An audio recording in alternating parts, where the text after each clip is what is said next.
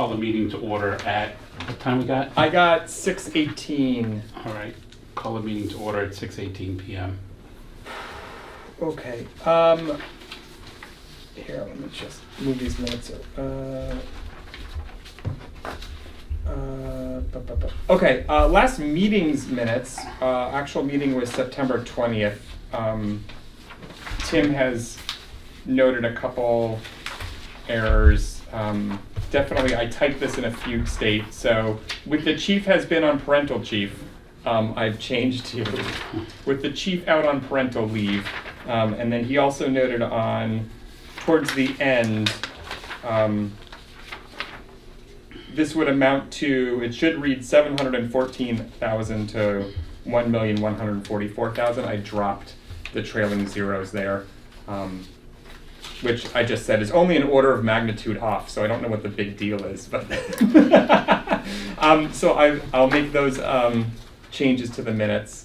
Um, otherwise, if anybody has any other changes or would like to make a motion for accepting them, I'll make a motion to accept the minutes as amended. Second. um, All in favor?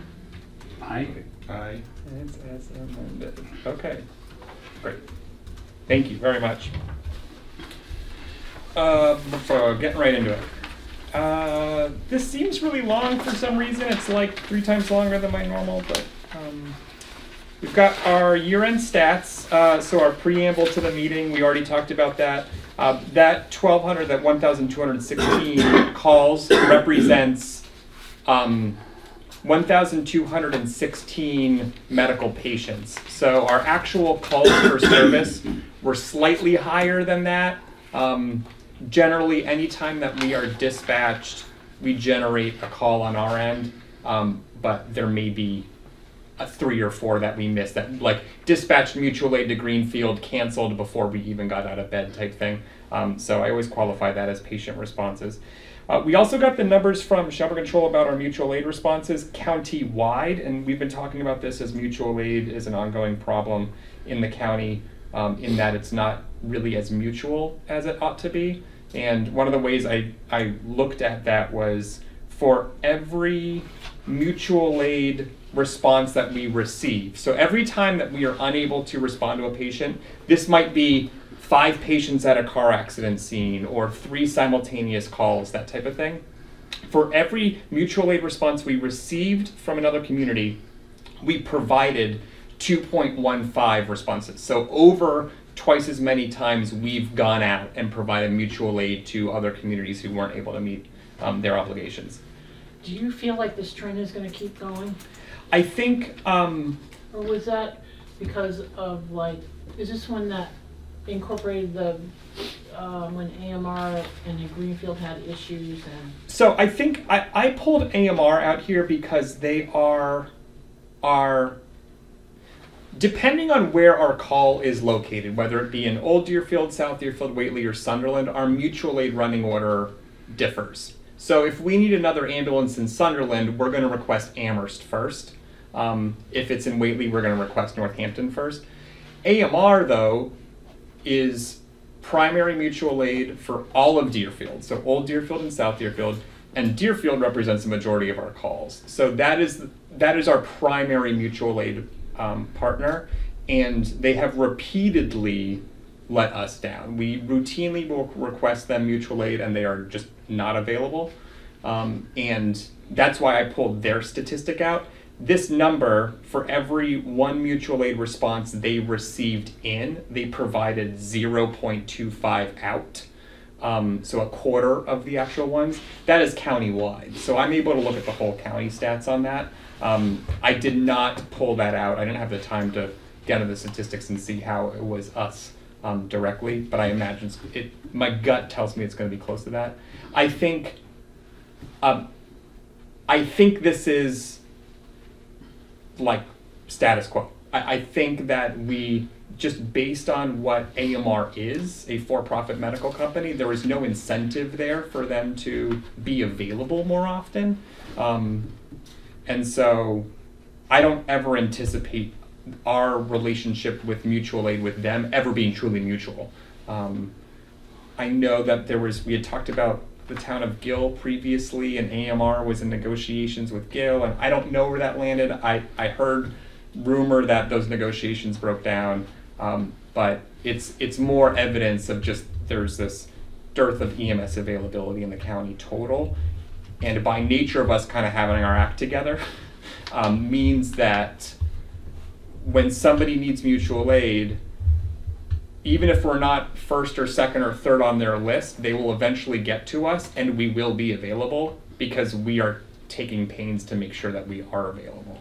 Um, Are we collecting on these mutual aids? I mean, I, I don't have a problem for us running mutual aid, but, you know, at some point, you gotta make sure we're Yeah. collecting. yeah, and I think, um, Cause the demographics here, yeah, that we have private insurance, and that offsets the Medicare runs. But are, our mutual aids, are we doing two, you know, are they mostly Medicare runs? I- Are they private insurance runs? Cause the demographics north of us are not as favorable as they are in Deerfield. So when we when we cracked over that 1100 calls a year mark, we we had to really assure that we had that other truck during the day, those two trucks on duty Right. during the day. And I've explained this before, but like if one ambulance is this much capacity, a second ambulance is this much capacity. So if your call volume comes here and you add that second ambulance, you have this additional capacity in your system. And I think right now we have that additional capacity during the day.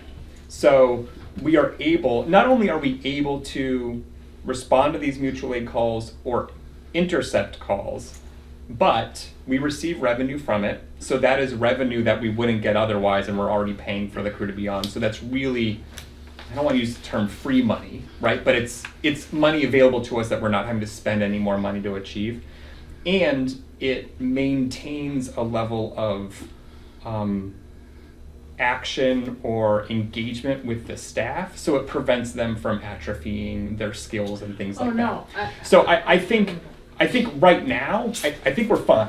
I, I think we're fine as long as we're committing to having that second truck on during the day. Um, if and the mutual aid calls are not significant overnight just because that's we have a precipitous drop off of medical calls kind of in general in the overnight because of the type of communities that we are. Um, I think if we start seeing an uptick in mutual aids in the overnight hours when we only do have that one ambulance available, that's when we're going to start having some more difficult conversations, but I don't think we're there yet. And so what do you anticipate is our capacity? So we still have, now that we're up to twelve sixteen, or so we- we're edging up over eleven hundred. What, when is it the next, I mean, do you, is it like fourteen hundred, fifteen hundred is when we have to make a decision on a third truck? I think that feels about right. It's hard to say. I think time of day is going to play a major role. And so, assuming that the dispersion of calls is like remains the same, right? Our call volume during the day is going to go up as well as our call volume at night. Um, I my gut tells me the next the next big move we're going to have to be is going to be a big bite, which would going to be like two trucks 24/7. I don't think that's going to be, you know, in We're not- 12 or 24 months, but I think that is the next that is the next growth step um, that we're going to encumber and I think that is going to be like I said a significant bite. And I think when that happens, whether it be 3 years from now, 4 or 5 years from now, Well, the trend is we're gonna, we have, Yeah. we have another, I think, twenty-four months before, you know, if you were projecting based on something that you did, generated not too long ago, we, we were getting to that, add the second truck, yeah. not, I think it was, well, the pandemic made it a little Yes, bit right. odd. But I think it was like in the last year or so, so, and then the projection, if I'm trying to remember that chart, wasn't for another two or three years. Yeah. Which makes sense in what you're saying. Yeah, and I think too, if those conversations in two or three years' time coincide with conversations about other communities, you, you know, like it, yes, our budget might, I don't know, grow by 70 or 60%, but if you're splitting the assessment four ways instead of three, you know, they might only go so like and then you've got the the the revenue offsets of that. So it's really it's a difficult calculation to make. Um, and, and I've got like spreadsheets where I can like do hypotheticals and it's never intuitive. You have to do the math to kind of see where the dust settles on it. Do you think that, um, the EMS situation in Franklin County is gonna change much in the next two or three years? Only in that communities are going to have to put their money where their mouth is. Um, Do you think the, the north, uh, you know, Northfield, Lewiston, that group is doing, is trying to do what we did? yeah. So you think North County is gonna get together? I, I think I think regionalization has proven to be a very smart move. Um, and I know Northfield is already I mean I can't speak for them specifically, but they're already contracting to provide services to Bernardston. They are kind of de facto responding to Gill as well. I think I think the climate up there, the situation up there is ripe for regionalization. I, I don't know where the dust is going to settle on that because we're all just a bunch of personalities. Um, West County, Colrain um, EMS ambulance is, uh, you know, they are the ALS provider out in West County. So again, you have lots of personalities out there, Charlemont, Heath, Hawley, far flung communities.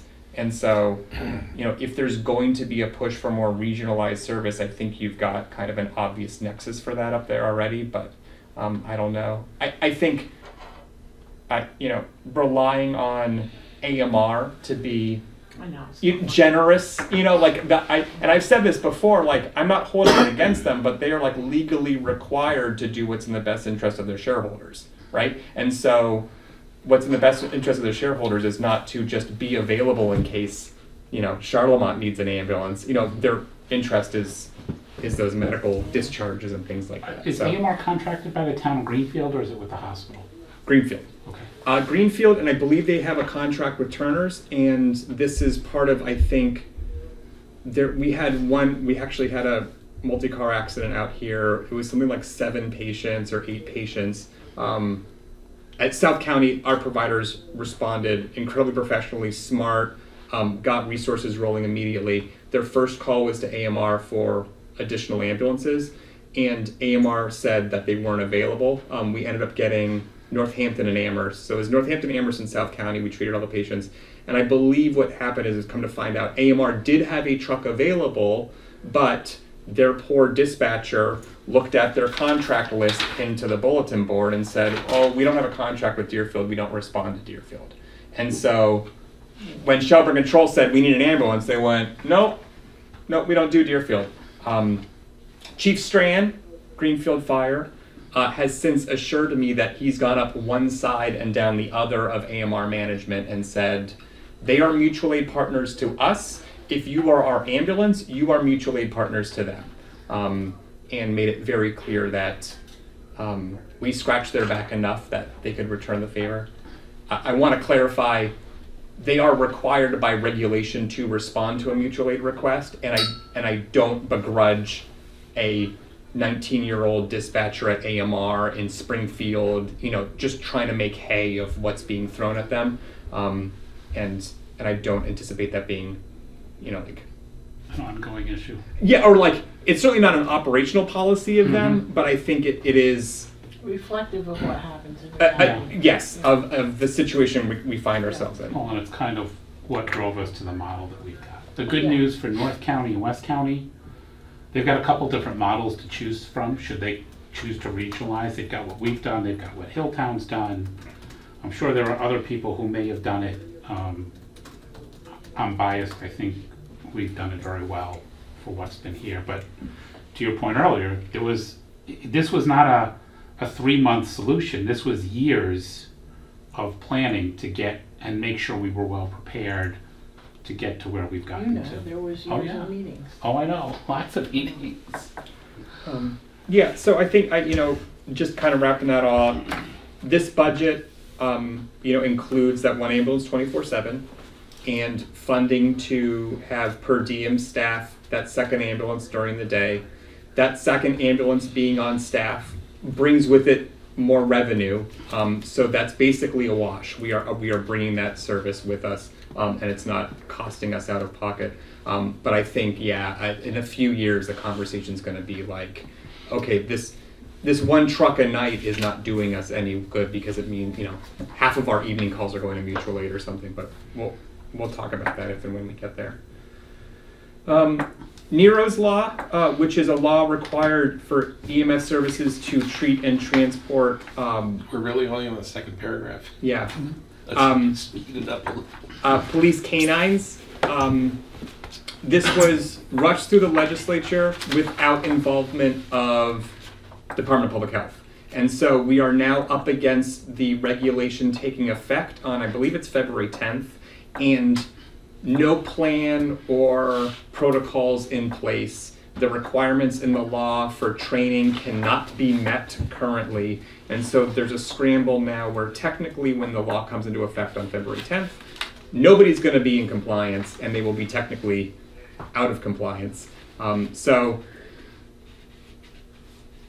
the Western Regional Homeland Security Advisory Council has already um, approved funding to get this training, get these resources. Um, all of the Western Mass EMS uh, departments are working together to get a unified training on this, make sure what's going on. There's a lot of moving pieces. Um, but if you hear about this training, this is what's going on. We're scrambling to meet the requirements. Some of us um, who are getting inspected by the state after February 10th and before this training is ava- available, we'll, we'll get a deficiency on their um, When is ours?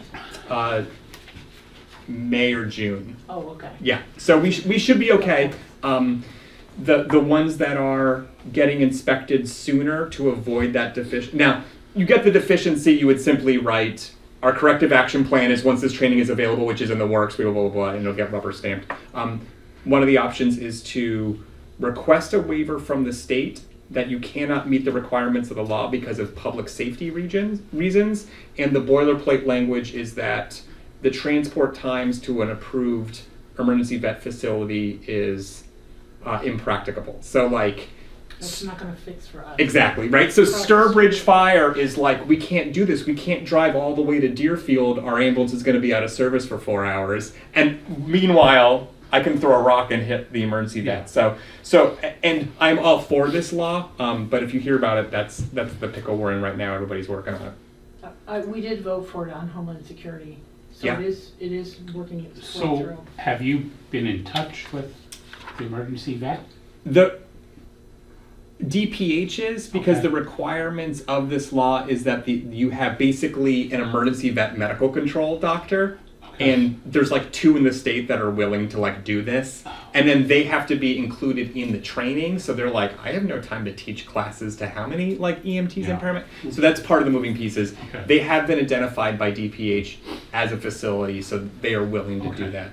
Um, Work with us. yeah. This is also one of those things that like we would have done and had been doing quietly, and then once they like made a law about Yeah. it, now we're like I'm scrambling. all, I'm all for doing it and doing what Yeah. we can to help. I think the other ones to include in this are state police and the local police who have got canines so that they're aware of here's what the training is, here's what we're being told. I don't want to get in a piston match with you when your dog is injured because this is how we've been told Yeah. we need to handle it. Yep. Um, they are. They, they not only are they heavily involved, they are required by law to be involved in the training. Perfect. So yeah. Thank you. Um, there's a thing called First Amendment audits. Uh, if you're not familiar, it's uh, people on YouTube who go to municipal offices and usually police departments um, and demand access to records that they would have access to through a FOIA or speak to people that are normally um, public. Uh, and it's the purpose of these First Amendment audits are to catch municipal employees um, off guard. They don't know what's going on, and then basically get their rights denied. Um, they're making their rounds again. They went up to um, Colrain to drop by the municipal offices, which were closed that day. And next door was the fire department. They were having a drill day, and so they just moseyed over. Um, I said it was like an incident of opportunity, um, and um, Lisa Mead, town counsel, um, has provided her law firm law firm provided a document to the town employees about what to do, how to behave, um, and that's been shared with our staff. Everybody's up to speed. Everybody feels very comfortable with it. Um, we're thankfully not being a law enforcement agency and being you know understood that our records are private. Um, we're not a, a, very big threat here, but um, we've been briefed, um, and our facility thankfully is secured. Um, we put in all these electronic locks and things like that. So, um, just as a matter of operation, when somebody visits, they don't have free access anyway. So, we're in a good position for that if you hear anything. I think they even came by Deer, Deerfield PD or something, and it was basically a big nothing burger, you know, because very professional, handled it smartly, knew knew what to anticipate. So, um, so there's that. Uh, David Zamoyski, our advanced EMT on staff, CPR trainer, recently completed uh, certification training with the senior center staff. There was some coordination that had to happen there. I think that had been pending for a few months um, over the holiday season, but was able to accommodate accommodate that. Um, there was a question about whether or not South County EMS can act as a training or certification body for our other municipal departments and sister agencies. Um, there, I'm still doing some research on this. Um, the short answer is most likely cost prohibitive. Very recently, Amherst College Police Department looked into this very same thing. They said we have to certify as first responders every single every two or three year cycle, CPRs every two years. Can we do it in house? Um, and their research that they put together in their report was the cost for training up the instructors, maintaining their instructor certification, the equipment, and then also maintaining um, a training site location that has requirements through American Heart Association for record retention and facilities and things like that um, was more than contracting with an organization that just does that full time. Um, and to put it in, in context, like David is a CPR instructor, but we still we still contract South County EMS with Community 911 because they are a training center, they have the equipment, and they can do everybody, you know, on a rolling basis. They can maintain those records and things like that. So, um, that uh, the reason why I asked you to do that is because um, there's two fire departments um, in Deerfield. There's Whately and Sunderland fire departments, so that's four plus the um, four or three police departments. So that's seven agencies. yeah. So if you took the cost of seven agencies, is it cheaper for us to do it in-house? And is that something that we can take on? And I, I understand what, you know, Amherst College is saying, well, we only are gonna do us. But we do have seven agencies that do need to be certified. So if you multiply that out, it seems to be that it would be a good expenditure that Yeah. none of our agencies would have to end up doing. Um, Yeah, like I said, I'm still crunching the numbers on this. Um, the Massachusetts general law requires that all police officers and firefighters remain as certified first responders. The Municipal Police Training Council, the MPTC, as part of their in service training for all police officers in the state, incorporate first responder recertification. So, all the police officers, as they do their in service that's required, they receive modules, and at the end of three years, they get their certification. Um, the fire departments um, are required, have always been required. Um, so, my question is, you know, like, where's everybody else getting it? Have they not been doing it and now like they've lost that avenue? And what was that? Do they have somebody in house or whatever? Or is there does Department of Fire Service offer like so those those are also the other questions. Um, I, I'm gonna keep looking into this um, and, and put do you- together some do you sort of know report. what Whately's doing offhand? The last time we did it was with the police department. Uh, Sergeant Bates actually taught the class, so he must be certified. Yeah, he might be an MPTC instructor actually. Yeah. Yeah. Yeah, yeah, yeah. Um, and I know MPTC they maintain a training center and they have staff for training records and stuff like that. So, it, I mean, it would seem like well, if everybody needs to do it right, like how do we get these departments together and just get on the Well, same schedule, right? I was just gonna say, if, if everybody needs to get it done and you have you know, seven agencies, the cost, you multiply that by seven. It's, it's gotta be, and you're all working with volunteers, so you're doing a, a large number of people. So it's got to be cheaper if we do it. And that would, to me, would be a good service for, you know, our EMS to do. Um, I know, you know, convert, one of the things what we're funding is, you know, participation with the, you know, the task force, Mm-hmm. Okay? Mhm. So what's the cost of participating in the task for- force versus the cost of this? Mm-hmm. If this makes more sense and Mhm. more service for, this should be then the focus of our, you know, your community activity. yeah. Yeah. So if you can get the numbers. Yeah. Cause I- I Would it still. am- be worth adding in, like, being the outside source for like Amherst College or some of them other places, or We is that could gonna do be too generate- overwhelming? Well, the problem with that is then you're generating, you're generating a revenue stream, there's no question, because you would charge them, whereas our agencies would be free, Right. obviously. But, um, wh- what is the liability, my concern would be the liability of record keeping and, Yeah. you know, if you Right. can transfer it to, if Amherst College pays Zach to, or Z to do this kind of training, and he does it, and we just collect the check, that's fine.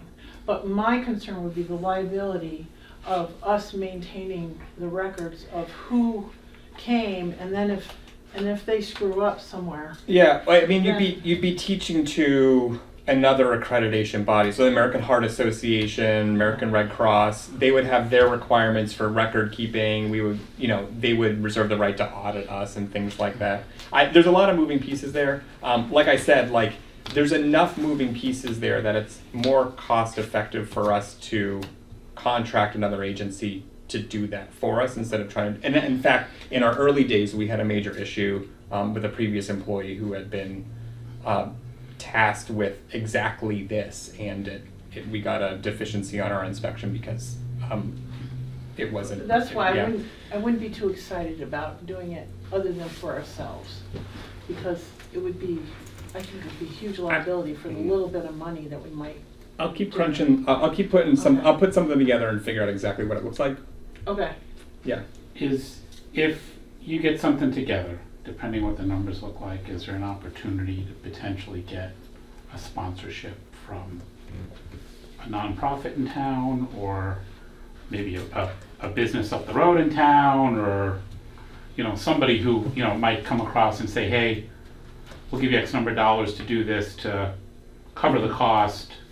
Um, Well, if our fire departments are doing it, we legitimately could go to businesses and say, we would like you to sponsor this training. Um, and it's the same as the fire department up in Old Deerfield. We could go to the nonprofits and say, listen, our fire, you know, our guys need to be trained. Yeah. And, and so we would appreciate this extra support. So it's, it's, I mean, you could do it all kinds of ways. Sure. I, the thing is with, with, for Z to find out is how much it's gonna cost us to, to set this up. Then how many people are we talking about? Right. And, and how would we set up the training? And then I, again, you want, you wanna make sure your record keeping is hundred percent. there's part of me that likes training. Pick on my my other half, my better half at Pelican. You know, to be able to go over there and train her employees would be great because then they get to know our paramedics and EMTs, and there's a level of a little bit of trust that gets built early on. Um, but on the flip side, I don't want to short staff us to get in the business of being now training, which the only other thing thought I've got is, you know, does is David interested in continuing doing that in the future? Uh, we're expecting that he's retiring in the very near future, um, so he will not be available to us. And I don't know, yeah, like I don't know that we have any other. I'm trying to think of what instructors we have on hand. I'm an instructor, but in things like advanced cardiac life support, pre-hospital traumatic life support, so like not CPR, not first responder. Um, so we would have to we would have to recruit from within to find somebody who's willing to get that instructor credential. We would have to send them to get that instructor credential, and then we would have to um, backfill their hours when they're when they're doing that. If not, does it, is there an opportunity to work out some type of a contracted relationship with Community 911 where if town members come to us looking for it, we'll call them, they provide the service at at a discount, or a something pre- like, that. discount or some type of predetermined rate based on class size, whatever it is. like a referral thing. Yeah, so instead of doing it at your street rate of, you know, seventy-five dollars a person, would he do it for, I don't know, fifty dollars a person? A- And, Yeah, you know, y- you can, we can wrap it and bundle it any way we Yeah. need to, to say, Well, I, there there might be something there. I, you know, David is an instructor with Community 911, so when he you know did this for the senior center, Mhm. he was over there as a South County employee, but those certifications went through Community 911 Training Center, and you know they're maintaining the records and things like that. So yeah, so there might be some sort of um, arrangement there. okay. Could you, is there any possibility you can get back to me? Uh, Because I know Old Deerfield is very interested, I mean, they're, they, it's not in their budget to pay for everybody to get recertified. Uh, I have. I'm withholding comment on one thing there. The other thing is I've reached out to the fire chief in Old Deerfield already, and um, he he wasn't. Uh, I reached out last week after our conversation, um, and he promised he would get back to me and we would have a conversation about it. Oh, So perfect. that just hasn't happened yet. Um, but yeah, I, I even wanted to make sure that we were talking about the same stuff. yeah. Oh yeah, yeah, yeah. All right, Uh, let's see. We started a new um, schedule rotation on January first. When we when the department was first formed, we had a rotating schedule, um, and then we went to a fixed schedule. Now that we have more staff on and we're covering those additional hours and things like that, we went back to a rotating schedule, um, and it's it's very simply forty hours in seven days. So there's no like automatic or usual overtime that's encumbered or anything like that. Um, and it's a five week rotation, um, and it's one, uh, this was decided on and presented by a group of the full timers and voted on by the full staff. But some really amazing things have already started happening. So because they, all the staff members are rotating around one another now, um, some opportunities for some um, organic like subcommittees and um, collaborations are already occurring. I walked in on a group uh, of three people earlier in the week, or I guess late last week. I'm excitedly setting up a, a a CQI meeting every five weeks when their shifts overlap so they could touch base and do trending through the department and work on stuff like that. So um, I'm, I'm like I'm super excited about this. Uh, it's going to give an opportunity too for um, those additional duties as we're like people are taking on more responsibilities because of that overlap everybody hits everybody else in the department over those five weeks. Um, so if there's conversations that want to occur or things like that then we're able to facilitate that Um, uh, much better. I think this is gonna be a wicked bad budget year, so, I mean, I already brought this up with you, that one of the things for all of us, if you, if there's any way, could you just, um, I think we should set up, because this is no budget season, I sh I think we need to meet next month and not wait, you know, for two months. But it would be good to get feedback on this rotation as far as what's it doing to the budget for overtime.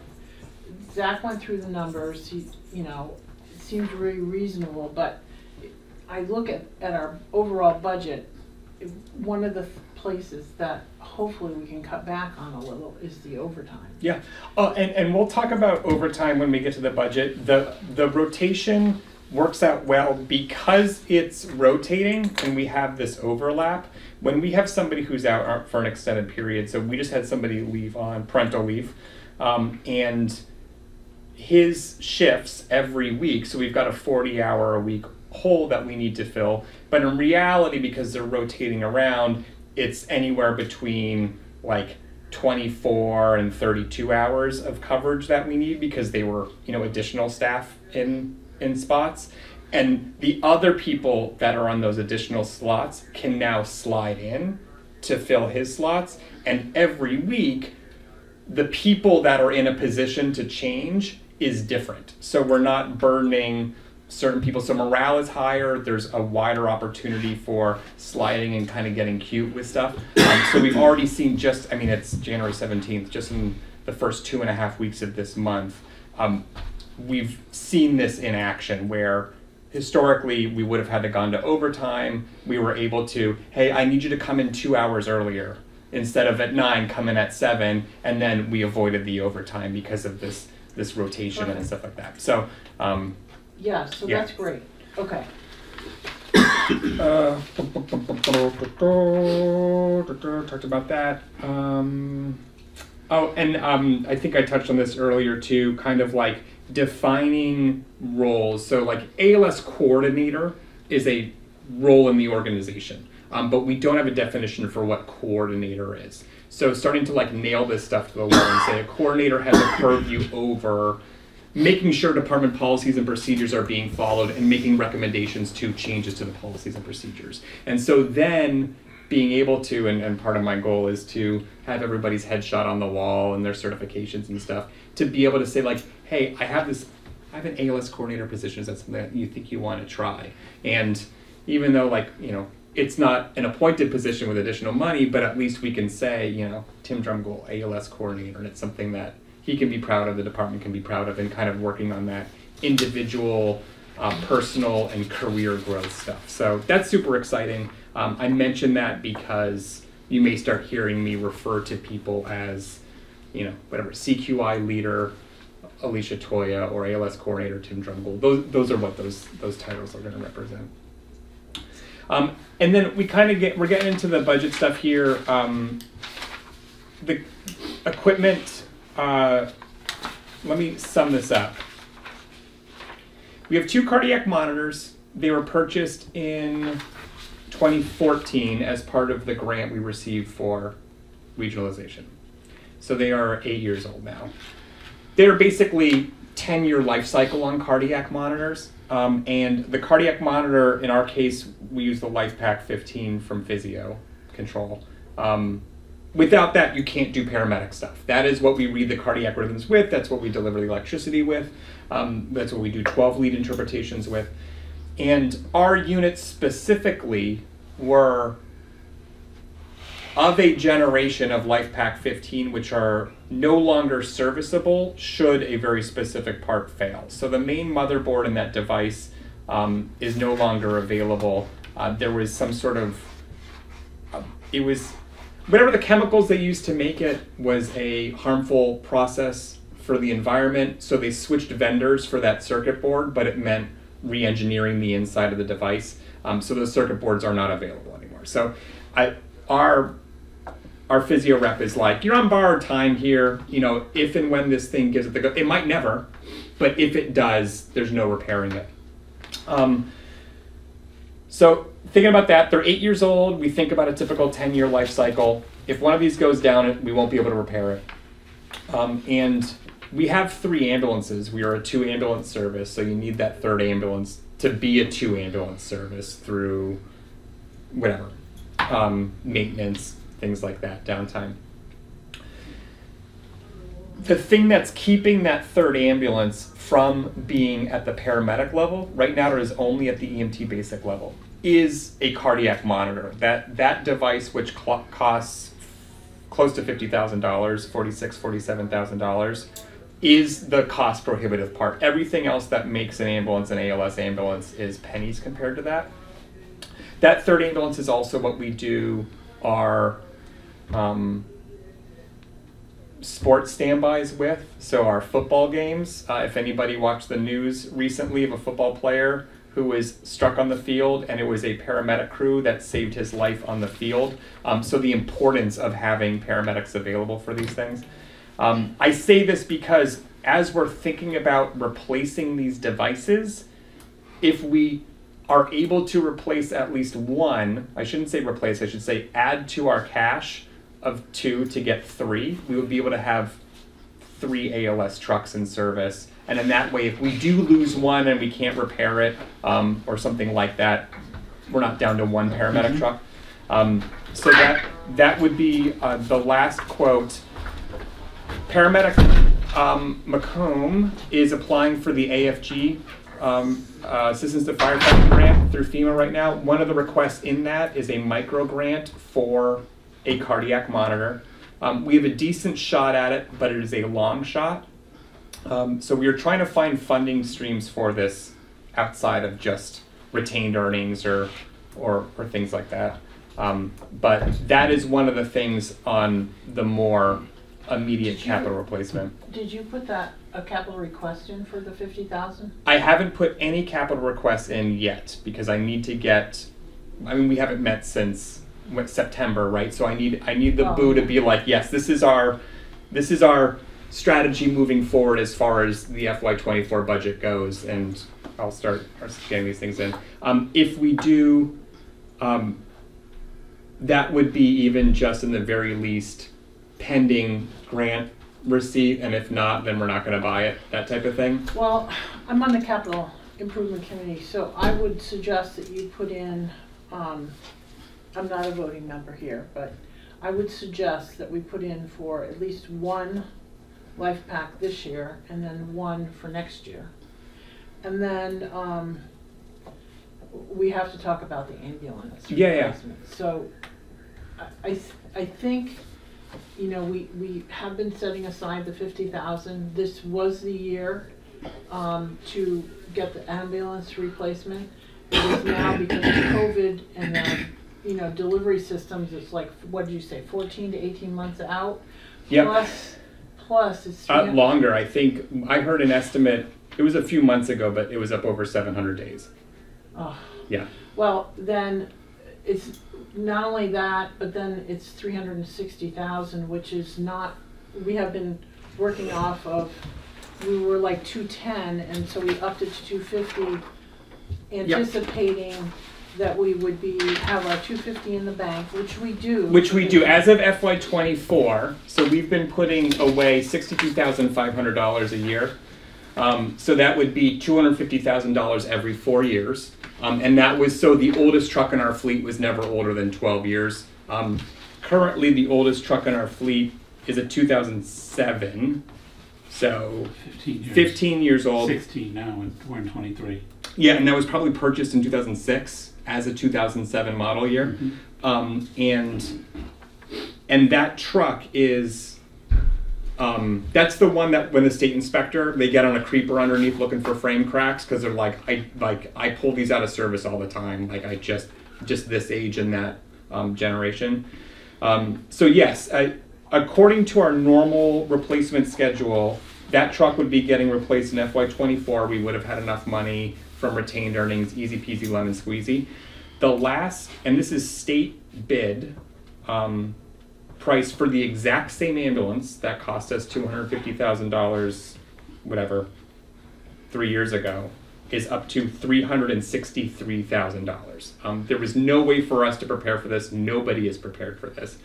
Um, Well, I, I think you need to put it in for, I would recommend us to, to have Zach put it in as this year as a replacement based on the twenty, you know, more, uh, what do you say, almost twenty-four months replacement yeah. plus three hundred and sixty-three thousand versus two fifty. So we've got, just put it in and we'll, we'll, we'll talk about it on the finance committee level, on the municipal level, and the capital improvement level. What um, And is it uh, time to talk about raising the uh, retained earnings? Yes, we're gonna have to Yearly, do. yeah, I but, mean, I mean, we have to, Right. I, I- and I think that well, I, I've got a so hundred thousand, basically. I know it's like painful, right? Um, I think.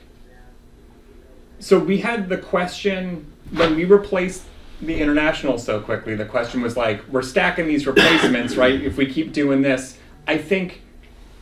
If and when we replace that third truck, we've bought ourselves some time. I think we don't need to replace one in four years. Um, so the question is, Yeah, but all the other equipment, So the equipment, um, do we, you know, these other things like the other LifePaks, you know, do we replace the LifePaks in between and then stack ambulances and then life packs or like what?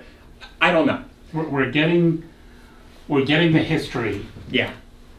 I mean, when we built this thing, we didn't think about, we gotta replace LifePaks at some point, you know? Now we're at the point, we gotta replace them. So now that we're getting that history, probably need to chart out over the next 20, 25 Well, years. The capital improvement is a five-year plan, so you need to give us a five-year plan of what you need to replace, both ambulances, life Yes. pack, um, whatever. I have a draft five-year plan, but it wasn't ready for prime time right now, so that's why it hasn't been. And I would presented, take but- that five-year and stretch it. Five years what they want, let's look at Ten. 10, 15. We, we could look at ten or 20, fifteen, yes. Or because- where we expect it to start repeating anyway. Yeah.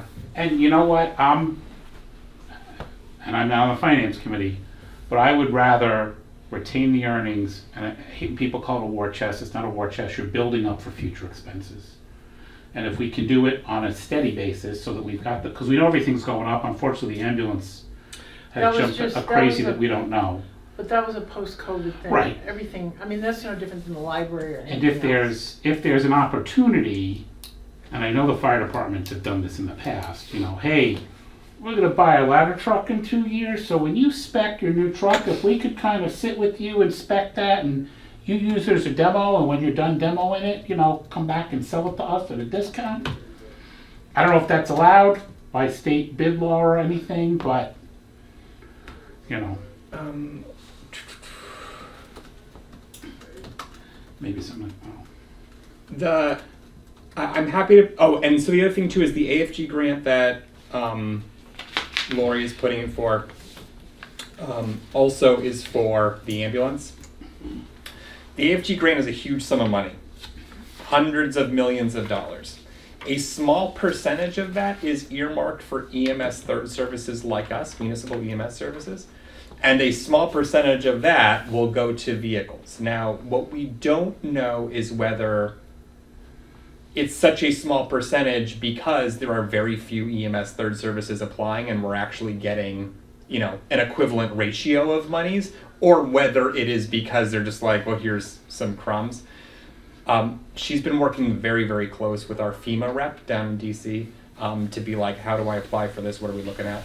The answers are of everybody who's in the running for this, you are in a very good position. You are regionalized. You have a plan for this. You don't have a funding stream for this other than just you know taxation basically, and, and coming up with this money from the pockets of people. And and Lori's done a very good job of articulating. But getting money for an ambulance replacement is an incredible long shot to begin with. So we're in the good running for an incredible long shot. Um, if that comes through, then great. Somebody may just won 1.3 billion. I'll write him a dollars, letter, an Incredible yeah. long shot. Um, so So that's the other thing. So I, I'm happy. The, the reason I mention that is because I'm happy to submit capital requests for the monitors and the ambulance. Should the narrative be, look, we have 250, we're short this, it would have to come from raising and appropriate, assuming we don't get a grant, in which case, great news type thing? Is that how I would do it? Okay. Yeah. Well, it, we gotta have a starting place, we've gotta have, um, well, even even if you don't get a grant, if this thing's going to take two years to build, Sure. in two years we're going to need it. Yep. And with the LifePaks, how far out are the LifePaks? I thought I read those were like Yep. a year out. They're a year out. So again, I, I, see, Yeah. what we would wanna know on the capital improvement, let's approve it. Let's worry about trying to make up the difference in the next year, and let's just get our order in. Okay. I mean, we got two hundred and fifty sitting in the bank, Yeah. and if we got twenty-four month wait, we gotta order it now, and then we'll worry Yeah. about how we're gonna pay the extra hundred and ten. Right, and and going to, I feel like, I mean, as a taxpayer in town, if somebody said, we've raised this much due to unforeseen stuff, we're 110 short, can we can we scrape together 110? I'd be like, oh yeah, sure. 110 dollars for a 363 thousand dollar vehicle that we need? Yeah, no brainer. Um, Well, when do you have to pay for the thing? When you put the order in or? no, on delivery. Right, so if you're two years out and you've got two hundred and fifty in the bank, and even if you only did sixty-two thousand, you're gonna cover the three hundred and sixty-three thousand by then. Two, uh, it would be FY 26 at that point. Right. Yeah, so 25, July 25. Right. Um, yeah, and what and I need clarification on the rules on that. Like, when am I allowed to place an order based like I know some places have placed an order for a LifePak now because they're like, well, for two years out, in whatever, 18 months, 24 months, when your LifePak is available, you just tell us you don't have the money and we'll give it to the next person. But I don't know whether that's, I don't You think that's have to- appropriate, by- right? No, by uh, procurement standards, you gotta have the money approved. That's what I So if we thought. go to town meeting. Yes, okay. We have cap, capital stabilization that we could set aside to cover the difference if they delivered it next year Okay. instead of two years out. But it would be at town meeting. That's that's always how we've Yeah. ordered an ambulance. Yeah. As soon as the vote passed at the three town meetings, I made the phone call and they placed the order or whatever. My, I would be advocating for us, because the price is only gonna go up. Yep. There's twenty-four month waiting period, which is drastically more than what you had told me before. So I would rec, be recommending to town meeting, let's vote this. If we have to pay the bill a year early, we have capital stabilization Yep. ready to go. Um, and we would just vote it out of capital stabilization so we could pay the bill. But on the other hand, we could go through two town meetings with just appropriating sixty-two thousand each time versus fifty thousand, Mhm, you know? I mean, Well, There's we, whole- when you say bunch- appropriating, I mean retained earnings is within the skims, right? I- this is sitting there right now. Right, right, no, what I, I'm saying, if you raise sixty-two and change it to eighty thousand, um, You that's just- just more money that you're retaining. Right. We have in retained earnings, we have five hundred and forty-two thousand and fifty-four dollars. Right. Two hundred fifty thousand of that is just earmarked for the ambulance. Right. So it's just the difference is whatever is going back into the Right, so budget. in the retained earnings, Yeah. you have the money for the, we don't, the stabilization fund doesn't need to provide, I'm just trying to understand this. Well- In other words, you have enough money to pay for one ambulance. well, only because well, Yeah, two hundred and eighty-four is going towards the FY twenty-four budget. Oh, I think I that should say FY twenty-four operating budget. Um, so that money, that money will. that's gonna be spent on services, Yeah. So there there will only be two fifty. 250 and whatever it comes in rolling in the meantime Right. basically. We try to keep a hundred thousand in, in case for some reason our collections are off, like say in the pandemic, all of a sudden there was no, um, calls for a little while. yeah, we dropped like 50 or 60,000 dollars in Yeah. revenue or whatever. Yeah. Yeah, so that's why we try to keep like a hundred thousand Mm-hmm. there to cover payroll and, and when our collections are off. So the set asides every year, that's from revenue from the from the towns, a com- combination of what the towns pay and what the um, service brings in. It's all where you measure from, Tim, but basically, I estimate revenue mm-hmm. based on the number of calls we anticipate and our average revenue per call. Right. And in this upcoming budget, I'm increasing that number to six. 25. 625,000. If in reality we get six hundred and fifty thousand dollars in revenue, that extra twenty-five thousand dollars becomes retained earnings. It's it's revenue beyond estimated. Also, if we underspend a line item and basically underspend our total budget, that money also rolls over. Um, the idea being, though, if it's just going to be applied to the following fiscal year, then that's that less that we have to raise. So it's almost a wash. It's like it, it just kind of rolls over and funds itself. Yeah, I was just saying that, you know, we know we're gonna have to change the ambulance replacement Yeah, yearly number, so where does that come from? right. It would come from either never increasing the estimated revenue or um, decreasing it. I, I increased it here to a point where I believe we will still get $75,000 above that because that is about what we lost to during the pandemic. Um, and so Yeah. uh, Yeah. So I, I, I guess the question I'm asking, and probably doing a poor job of asking it is, Keep asking until I understand. how do you get the FY twenty-four addition to be eighty thousand instead of sixty-two fifty? You- You decrease that number, that 284, by the difference. But you're, what I'm, I guess I'm trying to understand is, there is a revenue source for this retained earnings. I mean, it, it's not money we're just inventing. Correct. So it's either we're paying for it as towns, or it's revenue that's coming in. Yeah. And you know you have to do it, so how are you gonna do it is the question I'm asking. Y- you would keep that estimation of, of revenue lower than what you actually bring in. Medical service So fees line item are we estimated.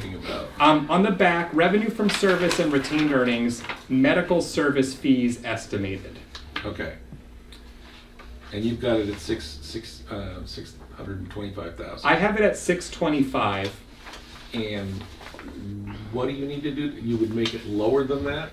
I I suspect we will come in somewhere around seven hundred thousand dollars actual Okay, so- revenue.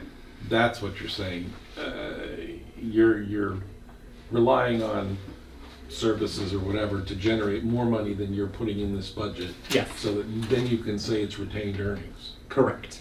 Yes. Okay. So is it's kind of revenue- a Story you're telling and it's not reality. You're, you're making, you're making an educated guess, guess based on past history, but you don't want to, you don't want to guess long and come up short. You're Right. better to guess short, come up long, because you can take the money that's long and Mhm. apply it toward next year. Right. If you look at, um, on the bottom of that same page you're looking at, back in twenty twenty-one, we actually decreased twenty-seven thousand dollars, nine hundred and sixty-eight, um, for the total, um, the total amount for the service.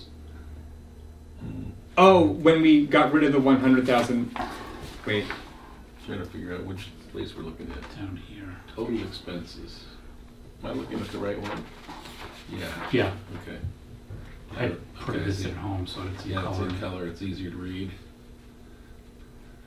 Does that mean that Zach, Z needs a, a color printer? I have one. I just you know I He's don't just know. trying to how save money. I know. And I Oh. didn't catch it before I printed it, otherwise it'd But be in black that, and white. but that decrease was pandemic Right. Right, It's a driven. there real- was some pandemic, It's a real decrease. right. And if you look at, you know, the total appropriated, if we go back further than this, I think when we initially started, we brought the money down, the total appropriated from each town. Um, I think the original assessment was like three hundred and eighty thousand dollars for Yeah. Deerfield. So So I think we might be below what the original assessment still was. oh, it's definitely it's certainly lower, and it's lower than even uh, inflation. Like it is. Yeah. We are net net lower. Yeah. So, Okay. Um, but the tough part is every year trying to figure out, and we've sat in this meeting and pushed the numbers around a little bit to try to get to tax rates But for it- different but- towns when they've needed it. But it's also, it's a mix of your insurance, because if you have private insurance, Right. they pay the full thing. Yeah, yeah. Whereas Medicare. well, and Medicare rates are going up six point six percent. Right. And Medicare counts for like 40 to 60% of our calls depending on where we're going. And so like, you know, you're I was doing a whole bunch of complicated math, but it means that I think we're going to get an extra like $66,000 in revenue just from that 6.6%, which is neat. But again, like right, like a pandemic hits and people stop calling 911 or we get universal health care and then everybody can just go to a doctor when they need one instead of having to call 911 go to the emergency room. You know like They'll all be waiting to get in to see the doctor because they won't be able to get in as quick as what they want, Um, so. Right, which is which is why I would rather be conservative on that revenue estimation and then Oh, yeah. right and then like I just needed to understand where the Yeah. number came from. yeah Yeah. So it's, it's anticipating that your revenues are gonna be higher than what you're telling in the budget story. So that when it is good, it's not a surprise, you sort of know it. and- Yeah. And it gives you a place to retain some earnings. and when we in the height of COVID, we our revenue that year was five hundred and seventy seven thousand dollars. And so that was down from previous years was like 630, 628, and so it dropped to 575. Now, that was also two or three hundred fewer calls a year than we're anticipating, right? It was with the less staff, which means not the intercepts, not the mutual aids, things like that. Um, so I've raised this thinking that even with another COVID, we'd still be, we'd still hit that estimation. So we wouldn't be scrambling. We wouldn't find ourselves in dire straits trying to make payroll. Um, but that's that's also kind of the target that I'm using. Like, So potentially,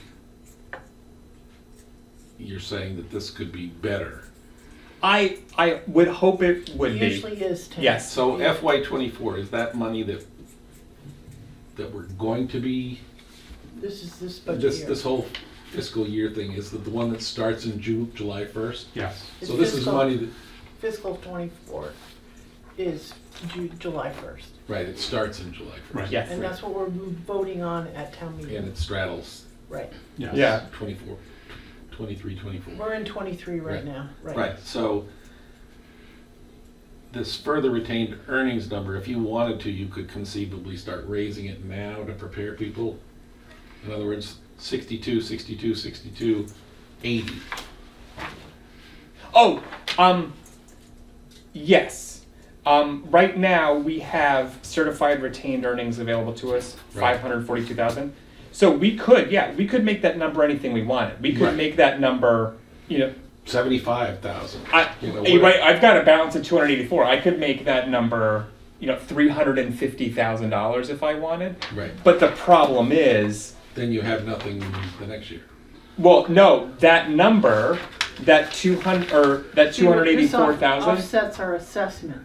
Right, We add in the retained earnings to offset our assessments. right, so then, then what each town has to pay, that's what I'm trying to. get Yes. at. So Yeah. for every Connection between. yes. Revenue and what we tax people. Yes. So for every more dollar that we set aside, we have to decrease the retained earnings line there Right. as income. And right now we're sitting at 1.91% increase from last year. Right. Um, so But. What's the we temperature had- in the room? We had, um, you know, eight point seven percent inflation. yes, a hundred percent, a hundred percent. Is it unrealistic to give a one point nine to make people, give people a false sense of how wonderful we are, when in fact, what you're doing is taking six percent inflation rate and not, not taking account of it. The, the, one, yeah. one of the problems is that we, the Yeah. town of Deerfield, pays for our ambulance service out of free cash. Right. So traditionally, we are very, very conservative in estimating our revenue. So we usually have free cash between one and two million dollars. Right. However, the last few years, just because it's been so hard to balance our budget and, um, you know, things have just been so tough, potentially we could, we're gonna go under a million dollars. So for us to pay a third of our free cash to the ambulance is gonna be tough. Cause it, that means there's less money to offset the school budgets, which may be coming in for us, you know, seven or eight percent. All I'm trying to figure out is Yeah. how do you raise this sixty-two five Mhm. to You're taking it, taking it No, I'm, out I'm, of it. to the eighty, so, um, in other words, it's a, it's a difference of about, um, seventeen five. Then we just decrease, what we do is we decrease seventeen thousand from the three assessments. Okay? What do you mean decrease, don't you? No, oh, you, you decrease what you're gonna give for, So they'll go up. is they'll, right. these are gonna go up by Right. seventeen thousand. Right, So Deerfields would go up by a little bit more than half of that seventeen thousand. right, so approximately nine thousand dollars, Right, Right. right. so. Nine thousand, Uh, right, I agree, we should probably go up to eighty, but, so that means the returned, retained earnings is gonna go down right. by seventeen. So we Okay. just went through this tax season and we raised revenue. I mean, the amount of money we're gonna bring in is like one point six. When, in theory, we could have done two point five. And all I'm just, I'm, I know this is probably the wrong form to ask it in, but the reality is, we need more money than we're bringing in. Yes. And we're not spending money on things like a planner grant writer, because we keep trying to cheap out, and it's gonna cause problems in the long run. Mm-hmm.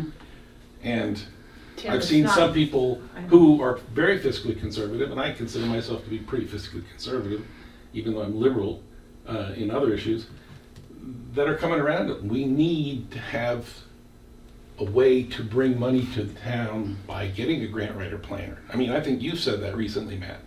And, you know, it's gonna be more and more, in order to keep the town running properly, you're gonna have to have this function.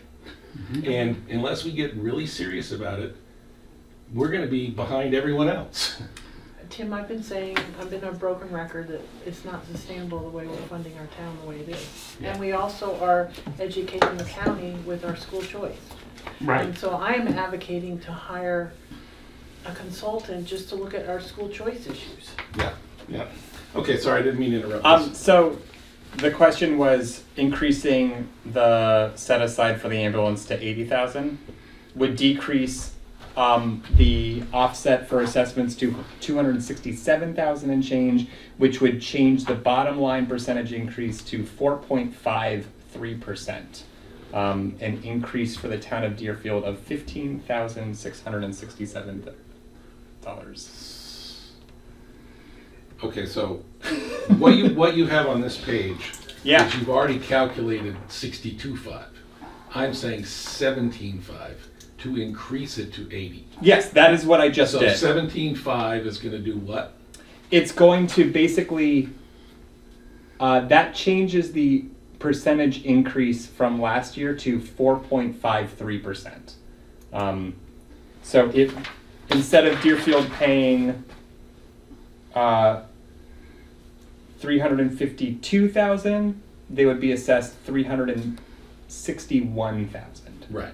That's Yes. basically what I thought. Yeah. Okay, Yeah. nine thousand bucks. Um, now I know uh, part of this too is the narrative that we tell. I'm happy all day long to be like, for fifteen thousand dollars more, look at what you're getting. Um, but I know that five percent, you know, people are going to see five percent, and so if the people in this room aren't willing to go back and articulate and argue for why that really isn't that much, then we're good to go. My- Um, Well, I'm just gonna give you my opinion. My opinion is to have Zach come in at, um, the one point, uh, one point nine one percent increase and say to the finance committee, we, we need to put more money towards the ambulance. And then have them discuss Yeah, that's that fine. you wanna raise the Right. eighty, because if Yeah. we decide to raise the eighty, Right. and Zach comes in with a four percent, he's gonna get grill, grilled. Yeah, it's easier to let them say, look, the Yeah. real, the reality is the ambulance costs, now costs three hundred and sixty-three thousand dollars. And we have to figure out in the next two years, Wh- How are we making that difference? Right. I, I think it's a, a one pager. yeah, Here's where we're at with our trucks. We've got a nineteen or two thousand four 18, whatever. 1876 ambulance sitting out there we gotta replace. Yeah. Plus we got three LifePaks, two that need to replace at 50 grand apiece, adding a third, which when you look three, four years down the line, probably gonna need a third. Yep. You know, so we should, we should plan for that. Here's what the money looks like. We just approved eight million dollars for a library in town. I- How can we not approve the money to keep people alive? And you tell the NFL story all day long. It was the lowest paid people on that field who saved the life of the guy who got hit. The reason they saved his life? Because they had one of these. The one we got is dying, and when it dies, we can't fix it. and then we can't send out our ambulances to the highest, highest Highest cost. paid Yeah. reimbursement. Um, this is I I'm I'm. I, I was explaining to somebody else. I never. I, it's not my style to submit a budget that has any sort of fluff in it. I don't play a game, Right. right? I'm like, this is what we're doing. I'm happy to articulate these things. Let the finance committee, you know, make these decisions and mm-hmm. conclusions.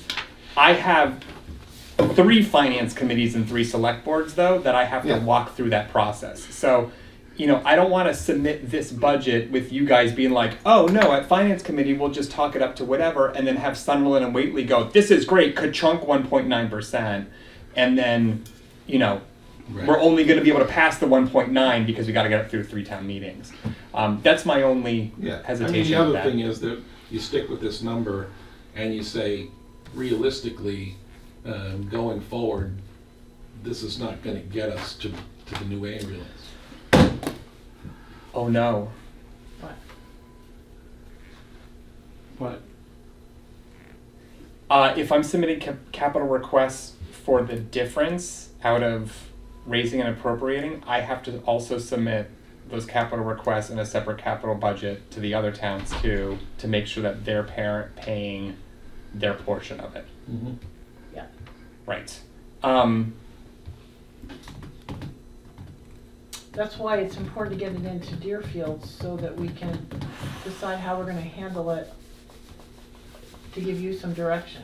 well, I, I mean, we got to work six angles here: three select boards and three finance committee, uh, nine angles and three town meetings. So, um, I, it's you know, it's a shame that Bob and and uh, Tom? Tom left. Uh, really, like the the nitty gritty here is having the board of oversight be, you know, the fighting group for it. Be like, nope, we sat in the boo meeting, we discussed this. This is what we stand by. That, that's Um, why it's important to have yeah. at least one more meeting. I mean, I feel like we gotta meet next month. Yeah, I, I've already scheduled for my Sunderland presentation, you know, next week or the week after, so. You can, well, you can say this is a draft budget. Oh, of course, yeah, yeah, yeah, but Yeah. I, um, So when do you wanna meet? Is February, um, this would be, um, what we'd be doing is, um, February twenty-first. Next month, if it's the third Tuesday of the month. third Tuesdays. typical. How does that, do you have, what do you have for between, between now? Oh, I have it already in my calendar for some reason, so that's a good sign. Yeah, sign. you had something like, was it February eighth? Oh, no, that's, those are the two thousand, oh jeez, I'm all over the place. Yes, two thousand twenty-two is February eighth, two thousand twenty-three would be February twenty-one. So before we adjourn, we should vote on these planned twenty twenty-three meetings, which are at the bottom of my, uh, executive summary. Um, but I, um, trucks, Uh, Yeah, I feel like we yes. have to meet at least, you, we, it only takes forty-eight hours to post a meeting, so if you have well, it'd be Feb- problems with some finance committee or capital improvement committee or whatever, if we're on the same schedule, we would meet every month, January, February, March, April. yes. Um, so it'd be February twenty-first. And March twenty-first. Correct. And then April April 18th. eighteenth. Okay, Um, I, we're jumping ahead a little bit there, but that's fine. I think the other, I know it's a nightmare to, to schedule, but I feel like people need to know that there's a 20, 24 month lead on this. This is a lot different than the fourteen month lead was the last I had heard, or it's the last I remember. And so now we're up to twenty-four months, and, you know, we had anticipated with being, trying to set aside this two fifty, no one anticipated the cost of an ambulance going up to three sixty-three. we were doing our diligence that, you know, we right. can't, yeah. So there is gonna be a little bit of trying to scramble to cover that, but we need to, you need to talk to the other two towns and not, and I, obviously you'll talk to Deerfield, but, um, you know, this is what we're, we're scrambling with, Yeah. what we're trying to deal with, what, you know, what are your thoughts? Yeah, I, I think that this is, this is the cost of doing business. The big unknowns here are these capital replacements that we have to do. We've got grants out in the weeds. This is a draft budget, um, but with the understanding that we're basically underfunding this capital replacement and we're gonna have to, Figure out something. Yeah. And Okay. it might be useful, just from a visual standpoint, to have a, you know, bulleted stuff. Don't, don't, you know, have it in this storyline. Yeah, yeah, yeah. It's hard to. oh, you know, sure, yeah. okay, Say, oh, we need three LifePaks, we need, you know, one ambulance, Are we, I'm gonna ask, cause I don't know, are we allowed to send like an email on behalf of the Boo to the three select boards? Kind of outlining this sooner rather than later so that they're aware of it? Or to the town administrators? Actually, that and- might be a, a and- smart thing for Zach to do to, that we as the Boo have now identified capital issues, um, to be, you know, to- we have to discuss how we're gonna deal with that. The LifePak replacements and the ambulance and the lead time, make sure you talk about the lead time is now up to twenty-four months. Um, and it's three sixty-three versus the two fifty. Yeah. And even if we get this, I mean, if we order the, the ambulance and it comes in in twenty-four months, uh, we're gonna have this fiscal year twenty-four, sixty-two thousand, and a fiscal year twenty-five, sixty-two thousand. Yeah. But it will set the stage for, we need to change the retained earnings for the future because Yeah. we're gonna confront this problem. Yeah, right. The, right. They're not going to slash these prices Right. once everybody's willing to pay them. Right. Yeah. Um, yeah. There, there might be some decrease in the vehicle.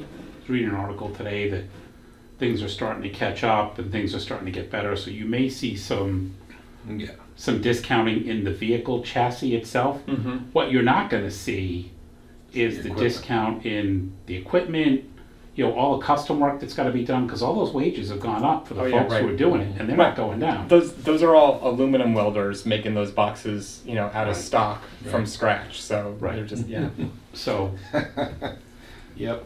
Um, yeah, Uh, the other big thing here that's that's an ongoing, and I I realized after I typed this all up that I probably just over-explained it and didn't need to.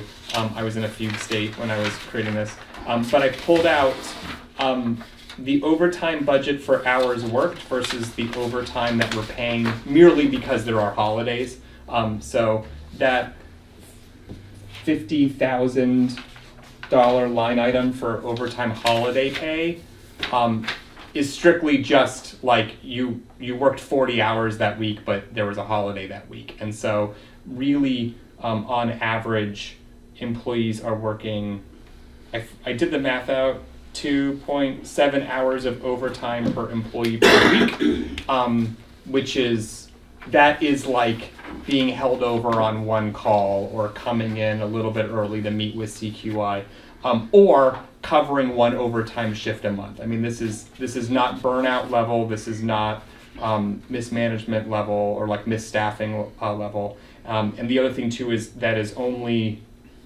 like a thousand hours a year across all employees, which is half what another full time employee um, would work, and at a fraction of The cost. of a full time no- employee, right? No so benefit. so right, so when you're looking at like, oh, we're encumbering so much overtime, we need to hire full-time staff to offset it. We're not there yet, uh, and I'm not worried about the, the burnout. But when you combine the hours worked with those holiday hours, that's when that number looks so large. Um, What, what we have to do is explain that, you know, the highway department and the police department have, you know, contracts, so their overtime doesn't show up the same way your overtime does. And, you know, I know we've been getting, but if fifty thousand of the seventy thousand is related to holiday time, there's nothing you can do Yeah. about that. no, yeah. you gotta And you- stay open.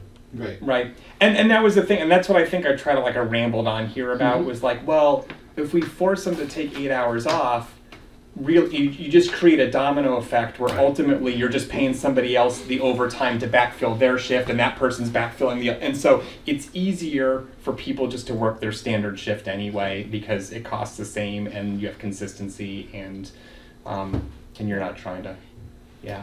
It's So- also a lot cheaper than having to negotiate. Oh, with a collective bargaining or something like that. Yeah. Um, yeah, and I think, I, and and the employees, you know, like they're because of the the nature of the schedule, we don't work Mondays through Fridays, right? So it's like if you fall on a Monday, Tuesday, or Monday, Wednesday, and the holiday is observed on Friday, you still reap those benefits. You work Mhm. your forty hours, and there's parity across all staff. It's not like. Well, you only work Fridays and you always get the holidays, and what the hell? And you know, it's just like no, like it, there's there's consistency and there's, yeah. Hey, the IV pumps, Oh, yeah, the IV pumps. Um, a number of years ago, so they were acquired by OEMS, but then there wasn't a, a transport certified one, so they suspended the requirement. At the time, we thought they were going to be seven thousand dollars a piece. It turns out they're only like twenty two hundred dollars a piece. So they are now available. Um, there is the model that is being adopted. Northampton has it. They've been fielding it for a year and a half now, um, and so that will be a capital request paid for out of retained earnings for seventy five hundred bucks. So Perfect. yeah, it's a requirement from OEMS. You already approved this once for three times the amount. Um, we released those funds back. No brainer, we got to do it. Um, not only are we required, but it's going to increase patient safety, provider safety, um, all those things. So Can we wait until July one? Did you need it before July one? um, as soon as town meeting, th- there is no long turnaround on those. Okay. Um, as soon as town meeting passes, we can order, it, them. And then pay July one. The, yeah, the bill would have to come after July one. Okay, um, because that's when the fiscal year would be delivered. okay. Um, but yes, um, the Uh, The only other thing that I wanted to bring up again is we still have to, you know, the audit, town, the town of Deerfield had an audit, and they're con- still concerned about the write-offs, um, too high amount to, of, you know, we're carrying on the books.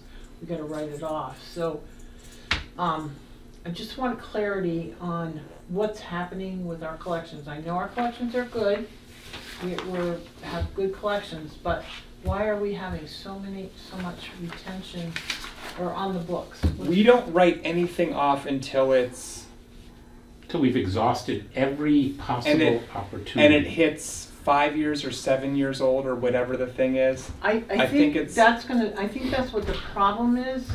It, I think five years is too long, that's why we're having these huge amounts. So, I, if we want to change Is that- that, sort of what you're, I, ca- I, I, you know, I think that at some point, it's fine. it would be good for, you know, us to sit down with Brenda so that we're all hearing the same thing from the same person at the same time. yeah, Because she's the one that says the auditor is flagged. It was like a million dollars of non-paid over a five-year period. And you're saying that you had ninety-five percent or ninety-one percent collection rate. And I'm going, a million dollars over five years, there's no way that the collection rate can be ninety-one percent. yeah. So I- we need to figure out what's, what's happening. My understanding is that so I've been trying quarterly. Sometimes it drags out to four or five months depending on my workload. Um, but anything that is older than five years gets written off. I, we just did another whatever that was, Right. but I'm, I say just did. That was before the Yeah. holidays or whatever. So we're due for another one. Meeting. But it should be about the same amount. Right. But that is that is only things that are older than five years. Um, I think if we don't want to be sending these people to like a collections agency and have creditors calling them, which my understanding is we don't, and five years is too long, then I say we just need to rewrite our write-off policy. You know, to say Mhm. that anything older than two and a half years or what, like whatever the decision is, and then we can just start shaking. Would the auditor stuff be up. happier if it went into, after three years, it goes into bad debt, and it sits in bad debt for two years until we write it off? well, my concern is that we're kind of a, u- we're a municipal EMS. So there's only a few municipal EMS in the whole state. So are, is he looking at our standard, is the standard for us different? Or is he not explaining what our standard is? Because our write-off, I mean, we spend a lot of time on our write-off policy and we did pick that five-year cutoff. And so I'm thinking that it's the five-year cutoff where we're getting this million-dollar buildup. Um, I don't know, I mean. it- Yeah. And we, we dragged it out because in speaking with the company that does our billing, and in speaking, and I'll go back, I think Mary And we Mary have the collection was the agency. treasurer. We've got the collection agency, and part of it becomes, if it was an auto accident, it could be litigated for Mhm. three or four years. If somebody's passed away, by the time they settle an estate Estate. and pay all the bills, I, I know we picked five years for a reason. yeah. And I I think, just want to make sure that the numbers are accurate, that, like Brenda's giving us numbers, and then I, I, we don't talk about the same things in this meeting. Yeah, right. So how do I compare what Brenda's saying to us? I- And how do, how does that relate to what you're telling us? Yeah, that's a great point. And I know that Comstar manages a lot of that bookkeeping too, uh, like you know, independently of, of Brenda. And so they give me an aging report, and I apply a write-off policy to it, and I'm like, write off, write off, write off, write off, don't write off, write off, write off, and I forward that to them. They reconcile their thing, and then they talk back to Brenda and say, this is what our balance is, and then they make the deposit. Like I, I don't understand how that whole process Who- works. It's not Tom, Tom Scanlon who audits. It is. Yeah. Have we asked Tom for, or he can't recommend a suggestion on a Well, policy because he- he's the he's- auditor? Well, we haven't gotten our report yet, so we Okay. don't, I mean, he, it would, it's just that we never, honestly, we run a tight ship, so No, I we, know. we don't get any recommendations. Sure. So he, he told us that this year, he was going to write a recommendation because he had a problem with carrying Okay. this much on the books. I, I'm happy to do whatever, and, and I think the other question too is, what is the like I'd like to see versus the this is bad practice, you know, and like m- making those distinctions. Well, when we made the five-year, that remind, you know, what you just said, that reminded me of why we did pick the five-year. And I, uh, so, I mean, if we said that to Tom, maybe he would have a different, Because back in the day, Mary Stakarsky had said, you know, once you've exhausted everything here, I can take a look and see, you know, is there an opportunity to put a lien on a property right. if we needed to? And not that, I don't want to get people panicked, we're not going to put No, liens no, on no, the this houses. is for estates, basically. Right, estates. We Right. could do that, and that, beyond the process we needed to play out, she needed time for her process to Right. play out. And I think that's where we got to it. But my question becomes, if we write it off after three, and then we get a payment, can we still accept payment if it's written off? I don't think so, I right? don't think Right, so. so do, does it go from, you know, do we need to create a separate bucket that says aging debt or bad debt? So after three years, it'll come off of our books, go into this other bucket? Like expected to be written off in two years, Right. basically.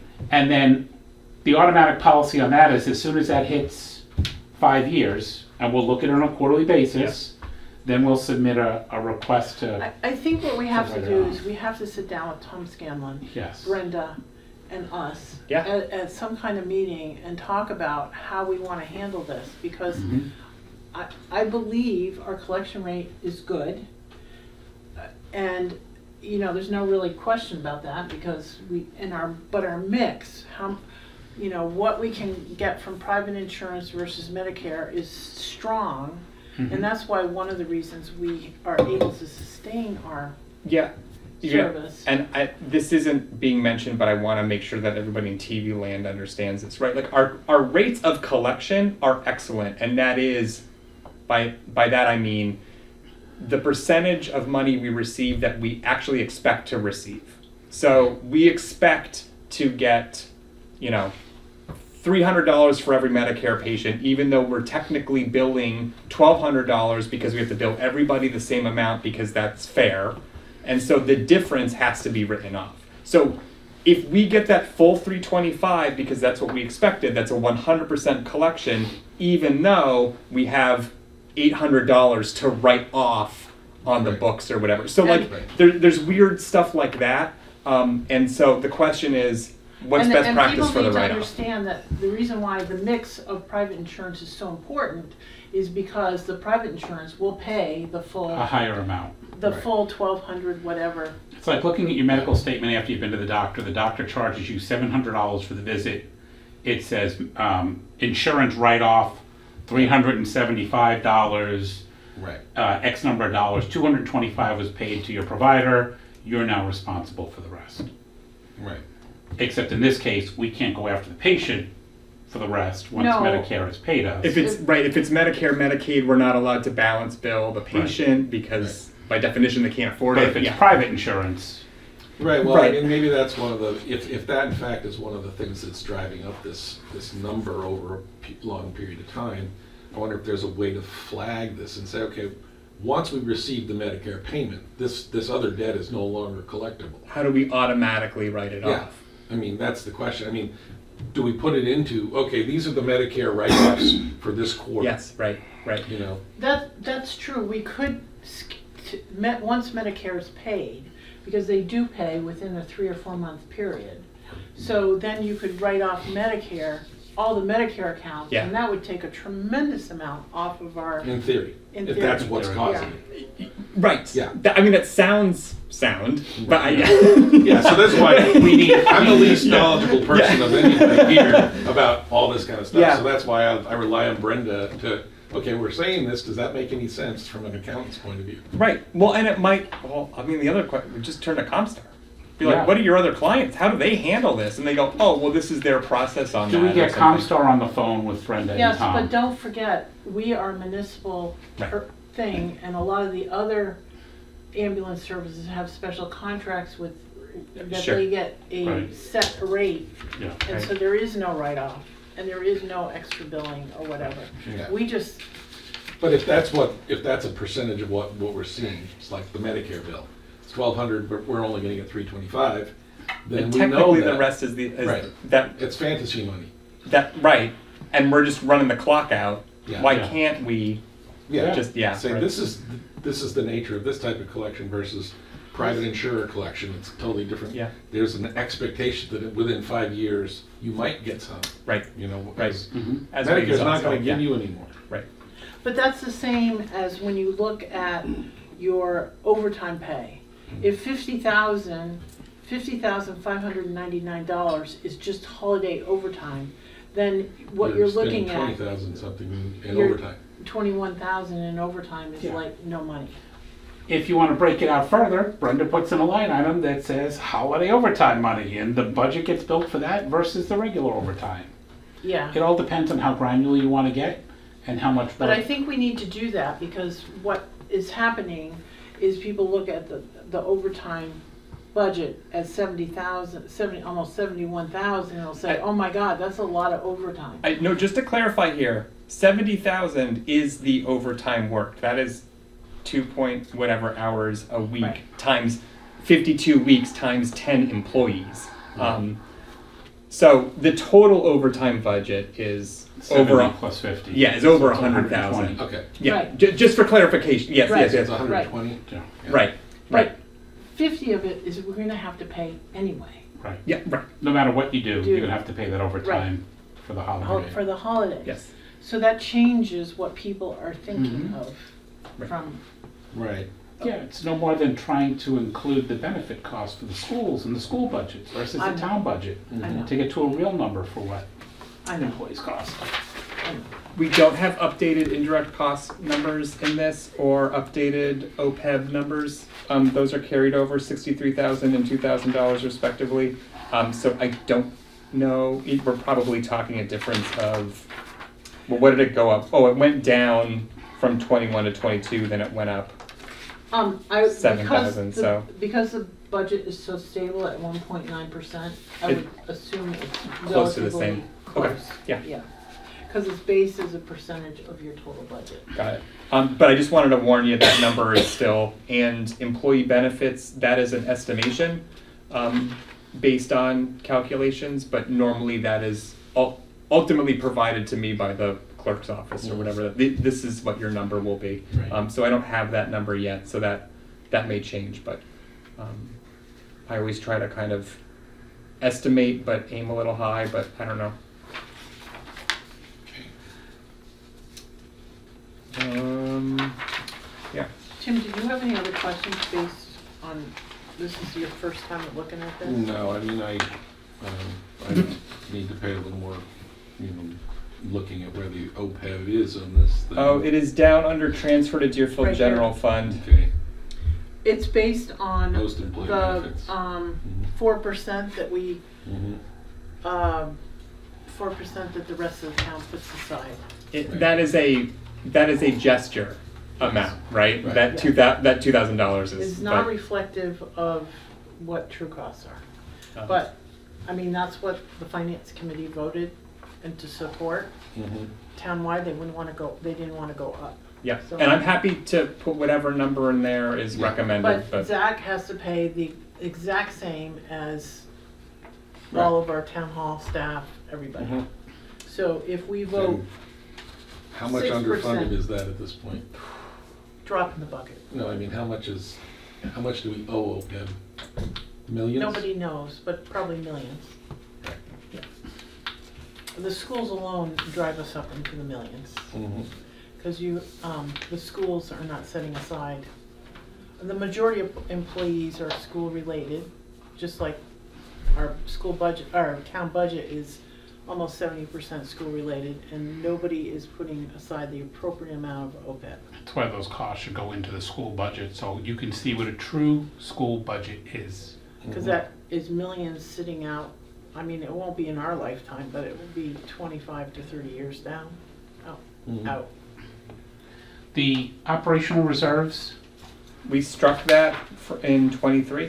okay, Um, if we were just, even through COVID, uh, we were keeping our estimated revenues low enough that there was no reason to carry both operational Okay. reserves and lowball the revenue. Okay. The decision was one or the other here, so we struck that. okay. That was a budgeting decision to keep our I, budget. I remember, I just wanted, you know, it was carried over again this year, so I just want to make sure that we're all in alignment, that, I mean, we can change that, just like we did before, but you you put a hundred thousand dollars back in, we can drive the we, cost back we, out. I so. was just gonna say, we're trying to keep the assessments as low as possible mm-hmm. because towns are gonna have But I a hard think it's, time with the it's budget. another part of the narrative we need to finance committee to say, hey, we have looked at this and, you know, we, Right.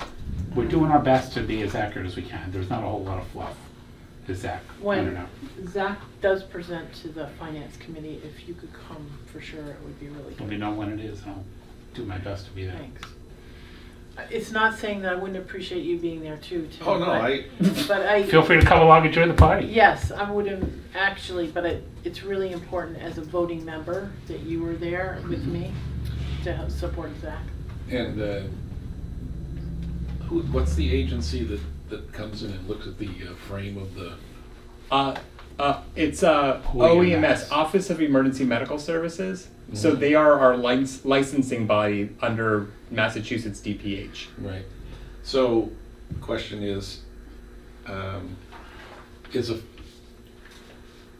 they give you like a, a twelve-year lifespan of these vehicles? They, as a general rule, just like the cardiac monitor, they start wincing at 10 years Mhm. um, for a number of reasons. One is they say it's just getting worn out.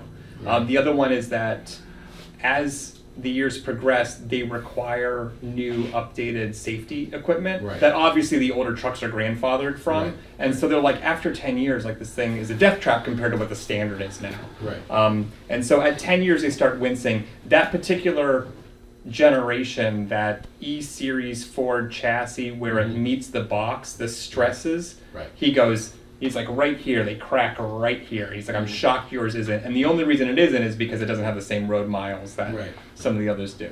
Right. Um, but he's always like, mm. um, the other thing too is the the turbo and the EGR valve. So we just had service done on that truck. Uh, we're taking him to Northampton Ford. They're real cracker jacks down there, and he's Mhm. like, we're like, what's what's the estimate here? And he's like, he's like EGR and turbo soon. That's the next thing. You're looking at like seven thousand dollars. Um, and so we're reaching a point where like we might just even have to sideline it because it's cost prohibitive just to keep putting money into it, um, Mhm. depending on what the replacement schedule is like. Well, I was just trying to figure out, you know, um, if you had to go to a five-year, Mhm. you know, retained earnings Mhm. thing to come up with a number, um, currently you'd have to have seventy-two six over a five-year period to buy a new, um, at three hundred sixty-two thousand. Yeah. Um, but we have three ambulances and possibly might look at a four. So then you'd come into, I have to buy two ambulances every ten years. And of course, the price is gonna go Yeah. up, so the seventy-two is gonna go up to, you know. and- Yeah. I think um, I think we're good with three ambulances. Mhm. Um, even I think we will be able to maintain three ambulances through you know 24 hour staffing you know, Right. additions later on. Right. Um, but I think that third ambulance being 12 years old versus 15. Right. I mean those last Right. three years, you They're know, brutal, y- yeah. Yeah. Um, so So you're So, looking, yeah, you're looking the- at four years Yeah, to pay for an ambulance, so yeah. we want to get to a hundred thousand now. Right. And then be looking beyond that, because you're gonna need money for Right, equipment, monitors, Yeah. and it's gonna, the cost is gonna continue to go up. yeah. right. What did, you didn't buy a pumper recently. Sunderland was the last one to buy a pumper. Yeah. So, I think Tom was saying it was over half a million dollars for a pumper. Oh, it's got to be more than that. I bet close to a million. Yeah, I mean, we're So, because currently the, you're right, uh, if we had to pay for that three hundred sixty-three thousand dollar every four years, it's ninety thousand Yeah. seven fifty. yeah, you'd have to round it to a Yeah. hundred Yeah, and just right because in four years' time, at well, seven Probably percent. still, we we We- probably. the message should be, we should go to eighty now, we should go to hundred next year. And then we need to look at that number beyond that. yeah. It may need to be hundred and ten or hundred Or what if that number is just tied to inflation? Yeah, Yeah, or yeah, put in an inflationary clause and say, look, we're not gonna go, you know, the COLA, it's not, gonna we're not gonna adjust it every year. We're gonna, we're gonna set it at three percent and, Yeah. and see if that works. Yeah. Or we're gonna set it at five percent and see if that works. or we're gonna go off, you know, we're gonna look at a state bid for Yeah, what a comparable ambulance would be, and we'll adjust these numbers annually based on yeah, the You know what? what we see in the uh, rising costs. Actually, Matt, I think I would like to see us adjust it annually, yeah, based based on on the this- reality. based on the reality. Reality. Well, Yeah, yeah, you That's know, well- crazy. whatever that is. Because, but it doesn't make sense to set a, a five-year or four-year number that's either, hopefully, gonna be enough or not enough, Mhm. or inadequate for whatever, you know, And part of, part of the answer may be, you know, we're gonna pull out our retained earnings or, Mhm. you know, adjust it from that, whatever we need to do, but we're getting to a point where you're gonna replace the ambulances more frequently, we gotta be closer to what the number is. It isn't gonna be, hey, we got this thing for ten years, throw, you know, 25, 35 in the bank, and at the end of nine years, we'll be pretty close, so we'll ask for the difference and we're good. Yeah. Yeah. Because the difference may be over But a that- hundred thousand Of course, dollars. the other but thing that's what we when used the to do, ambulances because go we were like electric, t- within ten or twenty thousand. It's gonna be This is I'm there for Hundred that. thousand. crazy, Yeah. this No- is craziness. no more turbos. Oh, I am No there. more any of that other Electric stuff. ambulances. I'm I am totally there for that. Totally. I mean, in Ford, it's- Assuming assuming the technology is mature for it, but like I think that's going to be because we're based in a station. Right. You Right. got your own EV chargers. You got your solar panels that you mandatorily now have put on your roof.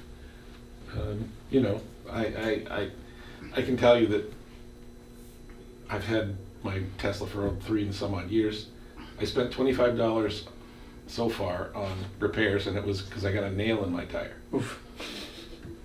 and there's no gas, there's no carburetor, there's no none, none of the stuff. So I think that's going to be the, the thing that Ford has got these electric trucks that work really well. Yeah, that lightning. the question is how big a battery pack, et cetera. But Right, Ram's getting ready, Ram's putting one out, Yeah. Chevy's got one coming. yeah, I think there's a Amherst just. I think their latest ambulance is a diesel hybrid. yeah, Um, so I don't know. I think they're still figuring out how to make that work. yeah, Um, i- as far as an ambulance, you know, like the the diesel engine shuts off, but like important ambulance stuff were tied into the the Battery. alternator, not the battery. Yeah. You know, and so like it shut off on scene, and they were like they were out, and so it was just growing pains. I My- think, Yeah. but My fear becomes, I know it's not every call, but the long duration calls where you gotta park on site. Sure. I was over in Europe in November, they had electric buses, which are great, except every time the bus stops and lets people off, the driver's coming out and putting a Honda generator on the curbside, starting it up and plugging the bus in to recharge it. Mm-hmm. So, y- you know, yeah. It's got to be, you know, the subsurface. You know, yeah. And then when you're looking at that, they're saying battery packs for ten years, so we're gonna need to adjust yeah. to make sure we're getting sure.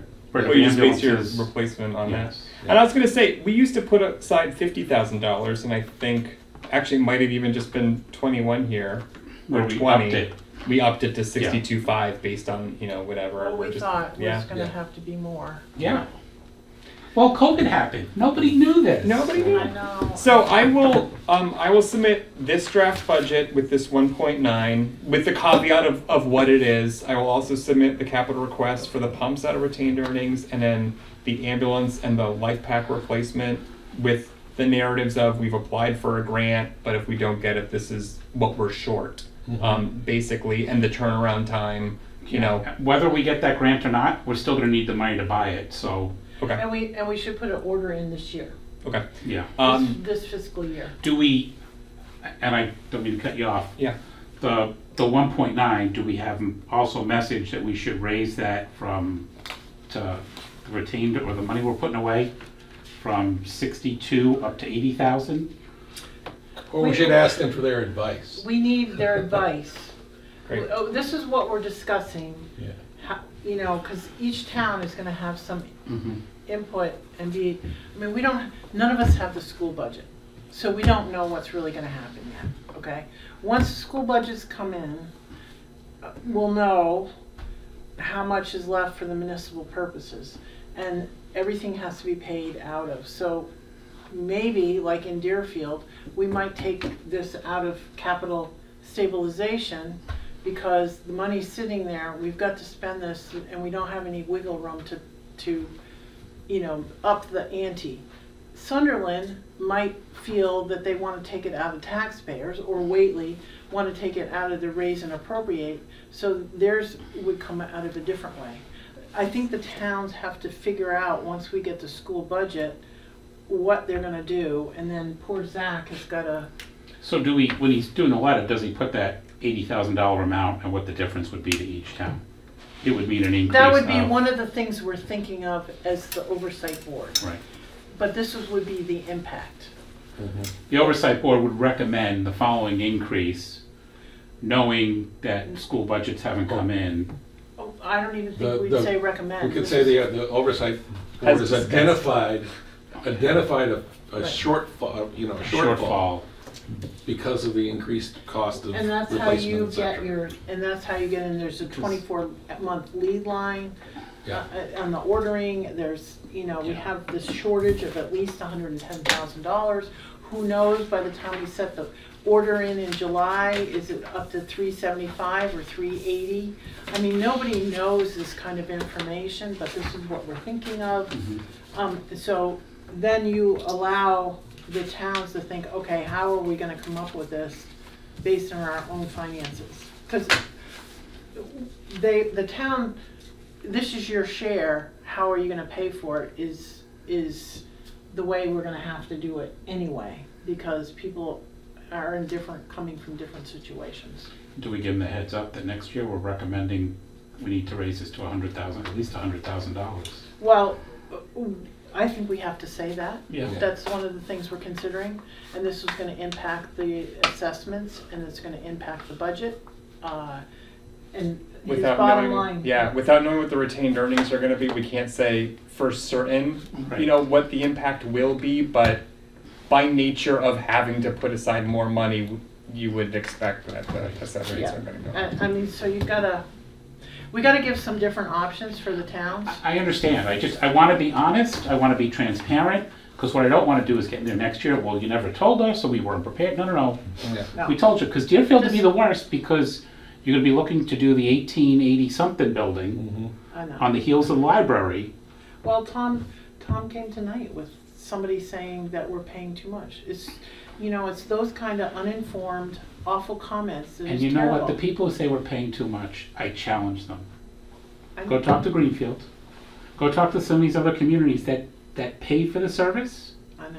and find out what they pay for, And what and more get importantly, when what you pay. actually get. When you call nine-one-one, what, who is really coming? Well, also, there's no subterfuge here, right? Like No. it's like it's super transparent, so we know what it costs. We're not feeding shareholders. We're taking care of our community and trying to provide the best service And, with, and you know what? I never, ever hear any complaints right. about when people come to respond for, I only hear good things about our EMS who come and do, you know, the call. So, am I really worried? No, but it's just hurtful to hear that kind of stuff. I agree. And we work so hard to set this up. I feel like it runs really, really well, It does. and we, But it's, Yeah. it's people who are taking, making comments, uneducated comments. Not that I mean the people making the comments are uneducated, they may be, but they haven't educated or immersed themselves in the information well enough to determine we got a pretty darn good deal for what we've got. and, and we're working hard to maintain that good deal. Yes. I mean, this wouldn't have happened without, you know, Yeah. long-term We're not- planning. We're not sitting on Mercedes-Benz ambulances out there. No. We don't have, we've got very good equipment, but you need very good equipment to be reliable so that you can attract and retain very good or highly qualified paramedics to provide that service. Well, actually, we could do better, and we should do better, because that third bus is a basic, it's not an Right. ALS. We would be collecting more money on that third bus if we were, um, Yes. you know, had the equipment Well, equipment and on because our standard is paramedic anyway, when that when that truck goes out, there are paramedics on it. We're Yeah. paying paramedics Right. to be on that truck, but we are Only basic collecting, service. yeah. yeah, right. We're, we're cutting them off at the knees because they don't have the And an advanced level care brings in about how much more over a basic level? More than fifty percent. Well, Oh, it's like a difference of a thousand dollars. Right, Yeah. so, so yeah. 50, 50, calls Oh yeah. pays for a LifePak. Yes.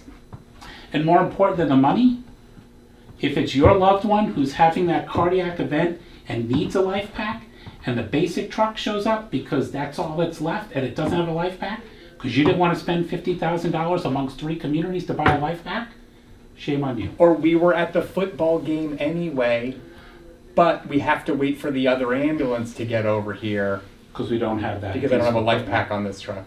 Yeah. Hmm. Yeah. It's, it's a small cost to pay. Actually, I feel like that is really not a smart deal.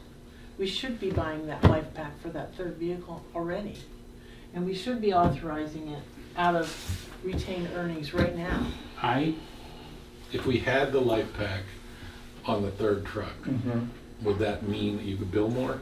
Yes. Yeah. Every single call that that truck goes on would be billed at the ALS level. not the B- I mean, assuming that they need You know, ALS I'm not a but voting yeah. member, right, but yeah. I would ask you actually to make the motion that you, I will make the motion that we purchase three LifePaks instead of two, so that we can e- equip all three trucks to provide paramedic level of care.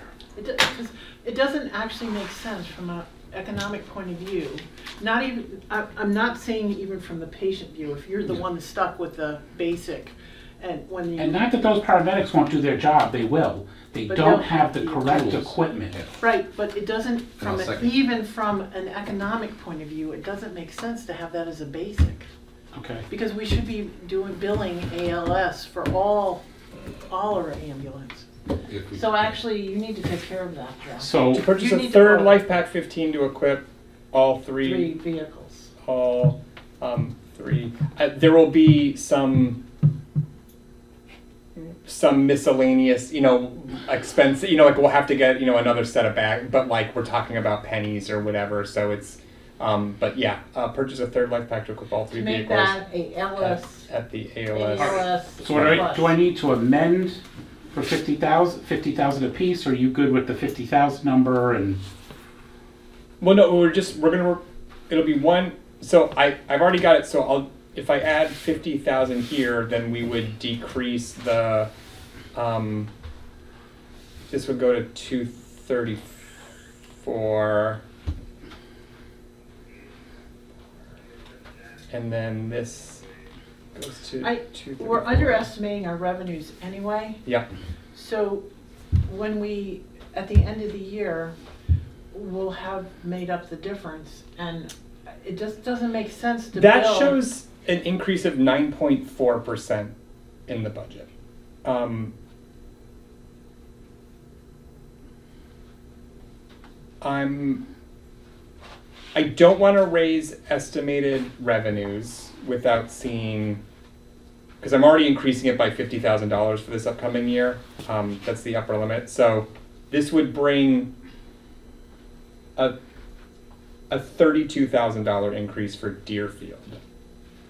Um, well, right, because it's like fifty-one percent of Yes, but you're gonna be thousand, billing, to right? me, you're gonna be billing out at an ALS level versus a basic level, so we would be generating enough ev- How much- revenue. to But how many calls a year does A three go on? Right, Um, or how many more calls could it go on if it were at ALS level? Or is it it's only, not. is it only when there's an, you've got two out and? But here's, here's the thing, remember, and we, we have a live motion, so I don't know what we need to do Yeah. around that. Well, we're No, we're discuss- still or- discussing. Oh, we're still Yeah, we're discussing, having okay, that's discussion. fine. If a new ambulance is almost two years out, Yeah, and the LifePak is almost two years out, yeah. we're basically equipping a new ambulance with the new LifePak. Uh, We're not looking to pay for it chances are, if he gets this ordered in June, if we see it the following July, we'll be lucky. And if it comes in and God forbid we don't have the money or can't afford it, he calls a guy we can only afford two, he'll sell the third one to the next guy on the list. At a higher price. Yes. Um, So do you, can you break it over two years? In other words, uh, if you order the LifePaks now, mhm. The You would motion is asking you to li- order the life pack now. I, but, but pay for it. Oh wait, order it now, Right? All right. like a- in FY twenty three. Yes. or, Or after, after, do we need to July- get approval from three one. town meetings before we can order it? Yeah, What's a No, capital? because, Well, well, no, Is because. it considered capital? 'Cause Well, it there'll be is a three of capital, it is a capital item, but it's also, I mean, it's part of your operational equipment, so I think you have the ability to put in an order and just put it in under the capital improvement. no, the question is, when do you have to pay for it? and When do you have to put it in the budget? Well, the question is whether I'm buying it now in FY twenty three or I'm buying it in July FY 1st. twenty four. July first would be FY twenty four, and it would have to be in this budget. And then the question is, are we paying for it out of retained earnings and increasing the assessment to the towns by If- fifty thousand, or are we just putting it in for a capital If you request? order it now, you're paying for it out of the excess revenue that we could be generating in um, fiscal year twenty-three. I, I don't I don't know. So We're not gonna get it in twenty-three. You're not gonna see No, this thing it until. won't be certified until the fall. you're not going to get that. Also, that truck does do calls, but we currently are only regularly staffing for two trucks, and that is the third. Okay. So Not necessarily gonna generate, I, I don't. It's not going to pay for itself in It's- like a it's year or not- something. Hear me out. It's not the revenue it can generate, it's a potential to save lives. Yes, 100. percent It's a fifty thousand dollar investment for the potential to save a life. Amortized over what, ten years? over Yes. 10 So it's a five thousand It's a a year $5,000 investment to save, you know, your neighbor's life. The frontier football hero at the 50 yard line who got hit in the chest and got commotio cordis and dropped like a rock. Um, Not to mention if it goes on standby at DA or a craft fair or anywhere else. It generates more money. Well, it generates more money, but more important than the money, it gives the people working on that truck the ability to act I'm, Yeah. I'm, I'm, I'm, at the level they're trained I, to. I'm a hundred percent for that, I'm just saying you can just justify it on just the revenue stream. Yeah. Not the emotional, Yep. save our neighbor kind of thing. so if we're intending to pay for it out of FY24, I can't put an order in until it clears town meeting, Right. until the budget gets passed. Um, so April, May. Um, Everybody's trying to shoot their, um, it might be even June, because everybody's trying to push their town Yep. meeting further out. um, So if you were gonna get it, if you were gonna put an order in now, it would be out of the, the current budget. And this would be an expense that you didn't anticipate, is that what you're saying? Well, I would, uh, yeah, I mean, the question would be, I could order one today, but Right. I would have to have fifty thousand dollars in the FY twenty-three budget, and I don't have that money for, I don't, like, You have it in will we retained have earnings. fifty thousand dollars, you know, when the dust settles and retained earnings? Sure, but sixty of that needs to go to the ambulance replacement, you know, We and so- already know we can't afford the ambulance. Right, right. So- Um, uh, I, I, I don't know that without it being certified as retained earnings, like as as revenue sitting there available, like I don't know that I can spend out of it. Mhm. Um, the money that we're receiving right now, we've already accounted for in the FY twenty three budget to the tune of five hundred and seventy five thousand dollars. Mhm. Um, And where are you on your, how much you've, how much have you received versus what you budgeted for? I think we're you on like eighty-nine percent or seventy-two percent? Yeah, I think we're on track for like six hundred and seventy thousand dollars right now. Right, Um, and Medicare went up six and six percent as of January first, right? So we'll have six months of that. right. Um, So you're talking about more than a hundred thousand beyond what you budgeted for, Um, You budgeted for five seventy-five. yes, and you're on track to get six seventy-five. sure, but we need a hundred thousand dollars for the ambulance replacement. For the what? for the ambulance replacement. Right, Understood. The ambulance replacement, Yeah. the money that flows ahead in certified free cash, we would need to go to all three towns to transfer it out of certified free cash? No. Well, it depends. Damn you, enterprise fund. Well, if, if you're, if you're gonna use, once free cash is certified, you go to town meeting and you decide how you wanna spend it. Okay, You cannot spend it until it's certified. Right. It will, our free cash will, normally doesn't get certified till September. So what's happening is because our budgets are so screwy in the spring, we used to only ever have a special town meeting in the fall once in a while. Mhm. Now it's, last couple of years, we're, it's guaranteed we're gonna always have one because we have to fix our budget. And so when it's, we get our certified free cash, we schedule our meeting, I mean, our town meeting, and we try to fix what we did not appropriately budget for in the, because it was too early, figures weren't in, like number of school kids, all that kind of stuff. Everything changes. that's fine. Do we, do we take the money out of the, the capital fund that we have now to pay for the three as of July one, so you can order them, and then put that money back once we get our makes enterprise sense, actually. certified? or have you put in two in your budget, and we're only arguing about the fifty thousand for the, plus for the third one? Did you already put in two?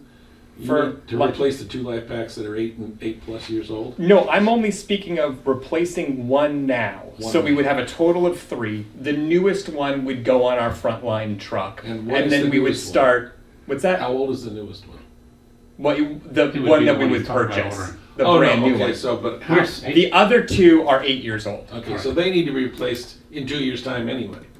We, we honestly Yes. should be ordering three, Okay. because if there's no parts, yeah. and Oh, it's gonna right, be yes, two right. years to build these things, we're sitting on a ticking time bomb. Yes. Agreed. Short of going on eBay and scrounging to try to find somebody with a motherboard that we could buy.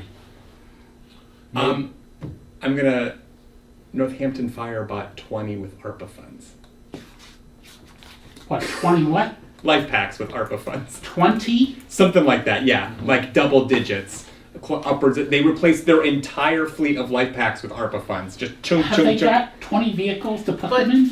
But, All our- the- but all the fire trucks do. Northampton, Northampton received millions and millions of dollars in ARPA fund. Yeah. The formula was not the same for us. None of our little towns got the same level of ARPA funding. Yeah, I, everybody went out and bought LifePaks with ARPA funds. That's why they're so backlogged right Okay. now. Um, but anyway, sorry. That I that was a Can we, can we make the motion to take the hundred and fifty out of the capital line item to allow him to order these three LifePaks?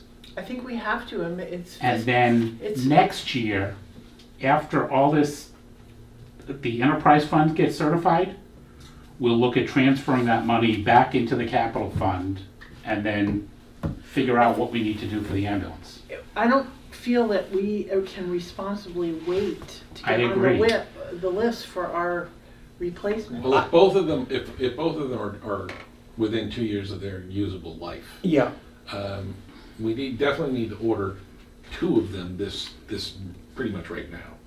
And the third one, maybe you come back at special town meeting and say, now we need to order the third one in anticipation of, or, you know, I, I honestly feel like if you're gonna order two, you should just order Yeah. three. yeah, I agree. Um, And we just get in the queue, because we're not gonna have to pay for it for two years. I am not clear where this money is coming from. Wh- wh- This this thing about it paying back right now, certified retained earnings, Right. five hundred forty-two thousand zero and fifty-four dollars. Five hundred forty-two thousand fifty-four We're dollars. saying, what Matt is saying is you're gonna take hundred fifty thousand out of that, yep.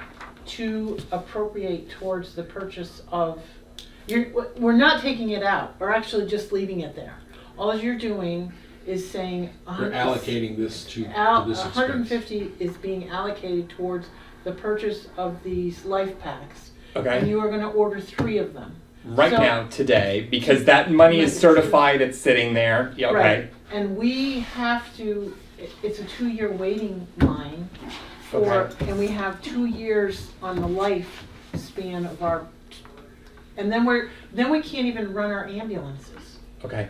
As, as LA, ALS So- ambulances, they're gonna go back to basic if we don't get these equipment. So there's five hundred and forty-two thousand, zero five four available retained earnings, correct? Yes. We're gonna apply two eighty-four, five five four To our budgets. to the budget, correct? Um, yes. All right, hang on a minute. You're doing the math on your calculator? Yep. Okay. Now, you're gonna spend seventy-five hundred on IV pumps. Yep. This sixty-two five, Yeah. that we've put three of these in, is that part of that five forty-two? Yes. Okay, so when you take, when you take that out, what do we got left? You know, you got hundred and fifty to come out, out of two. I have a hundred thousand dollars left. Yeah, So, Could we, could we reappropriate some of that further retained for ambulance replacement to pay for the LifePaks? And then replenish that money after we get certified in the fall? Or do we even have to, because these things aren't gonna get delivered for well over a year? uh, we don't have to do anything for, i- if, if there's, if it's truly two years out for the LifePaks, two years out for the ambulance, it's, you just have to set aside the hundred and fifty so that you, you can't count it towards the ambulance if you, if you're counting it towards the LifePak. Okay, We're already short of, for the ambulance. Right. We have not ordered that ambulance. So, and we've got to decide how we're gonna fund the ambulance. So when we decide how we're gonna fund the ambulance in, after fiscal, uh, you know, July first, then we as a Boo Group can say, okay, what we're gonna do is, um, however the towns have decided to fund the ambulance, this is how we're gonna s- generate our ambulance fund back to that level, whether it's moving it. In Deerfield, we might say, we don't want it to come out of certified free cash, we're gonna do it, raise an appropriate warrant article in the fall. Okay. Sunderland might choose to do it through whatever. basically what, if, if we had to come back and pay for it, we would be looking to pay about seventy-five thousand dollars for our portion of the three. Right. If we did it out of something other than retained earnings. Yeah.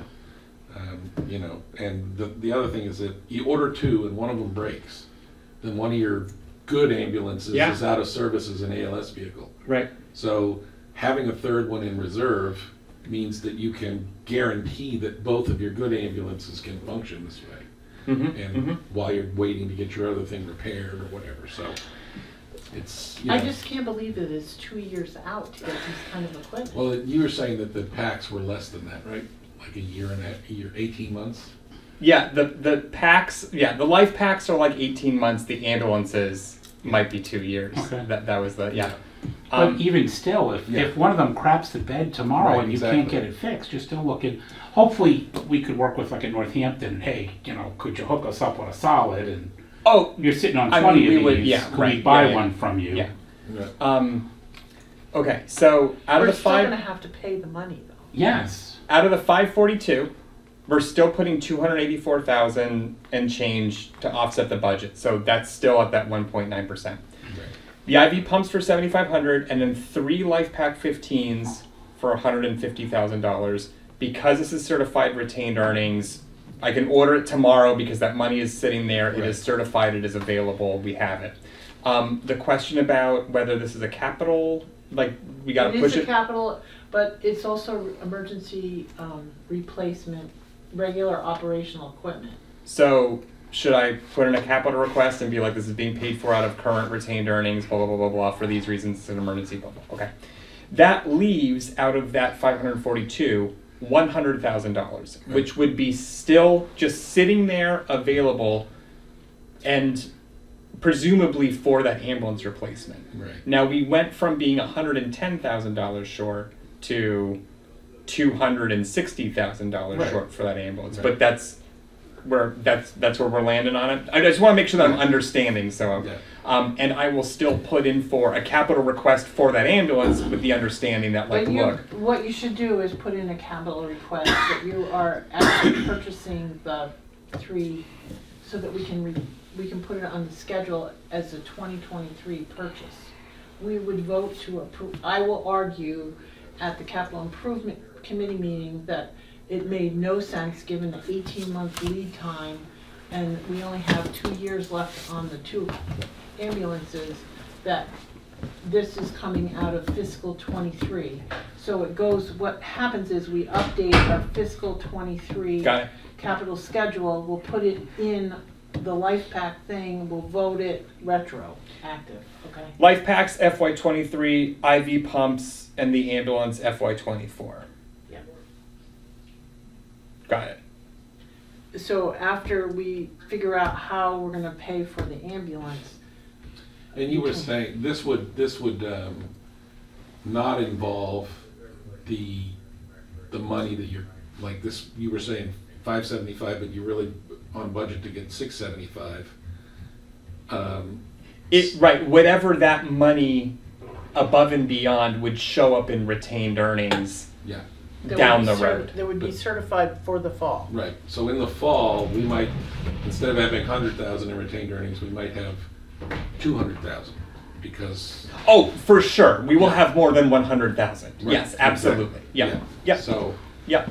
we're, Um, and if I did, if I did my math, we'll probably, yeah, probably have around two hundred thousand, just Yeah. shy maybe. yeah, Um, yeah. So we'll have made up really basically. two-thirds of what we were we putting in put for, yeah. Yeah, Yeah. And if we have to go back and say, okay, now we need to, you know, ask each of the communities to put in their portion to buy this third LifePak, because we need to, we got this ambulance coming, you Yep. know, whatever we wanna do, yeah. But- But it, I think that's a good thing. So the motion to purchase, put in an order and purchase for three LifePak fifteen replacements in the FY twenty-three current budget with the certified retained earnings Yeah, available in the enterprise fund. and so Matt made the motion, and I'll second it. Tim seconded it. We can't vote on it without someone being here though. Sure you can. Just need a quorum. It's a quorum, you just need a quorum. Well, I thought you needed these all three towns. Mm-mm. You No. don't. That was a courtesy that was extended for a long period because people didn't want to actually just make a decision. They wanted to keep putting it to the next meeting. You just Yeah. need Um, a quorum. You're the quorum. No, I don't have a problem Um, with that, I'm just Yeah. wanna make sure. And I'm sure Tom would probably see it logically, I mean, I don't see anyone could see that this isn't the logical thing to do. I, Yeah, no, I agree. You And can base, also, you these life can, packs- you can support it for just economic reasons. does this lock in the, the price when you order it? You're ordering it at price. yeah. And so, eighteen months from now, Yes. when, when the LifePak is sixty thousand dollars, Yes, we it is. seem like rocket Because science. because Lori's been applying for the grant, she's got a current quote. Yeah. This is the thing at this price ordered today. Yeah. And so and yeah. hopefully, we get some grant money to help pay for this. right, right. Potentially, yes. Potentially, we're Potentially. gonna get Mhm. grant money to offset the ambulance too. Yes, potentially. Um, Well, Smith College got a couple million dollars, and what are they paying taxes a year to the federal government? I know, everyone seems to be getting money, but our small towns. It is, it is a scandal. Yes, I agree. Oh, and by the way, we may wind up paying ten thousand dollars a student to help pay off their college loans that they use to pay those institutions that don't pay any taxes. uh, there's a motion on the floor, and it's been seconded. Okay. Um, Any further discussion? All those in favor? Tim Aye. Pelkey, aye. Okay. Um, three zero zero. Okay. Um, that's exciting. Mhm.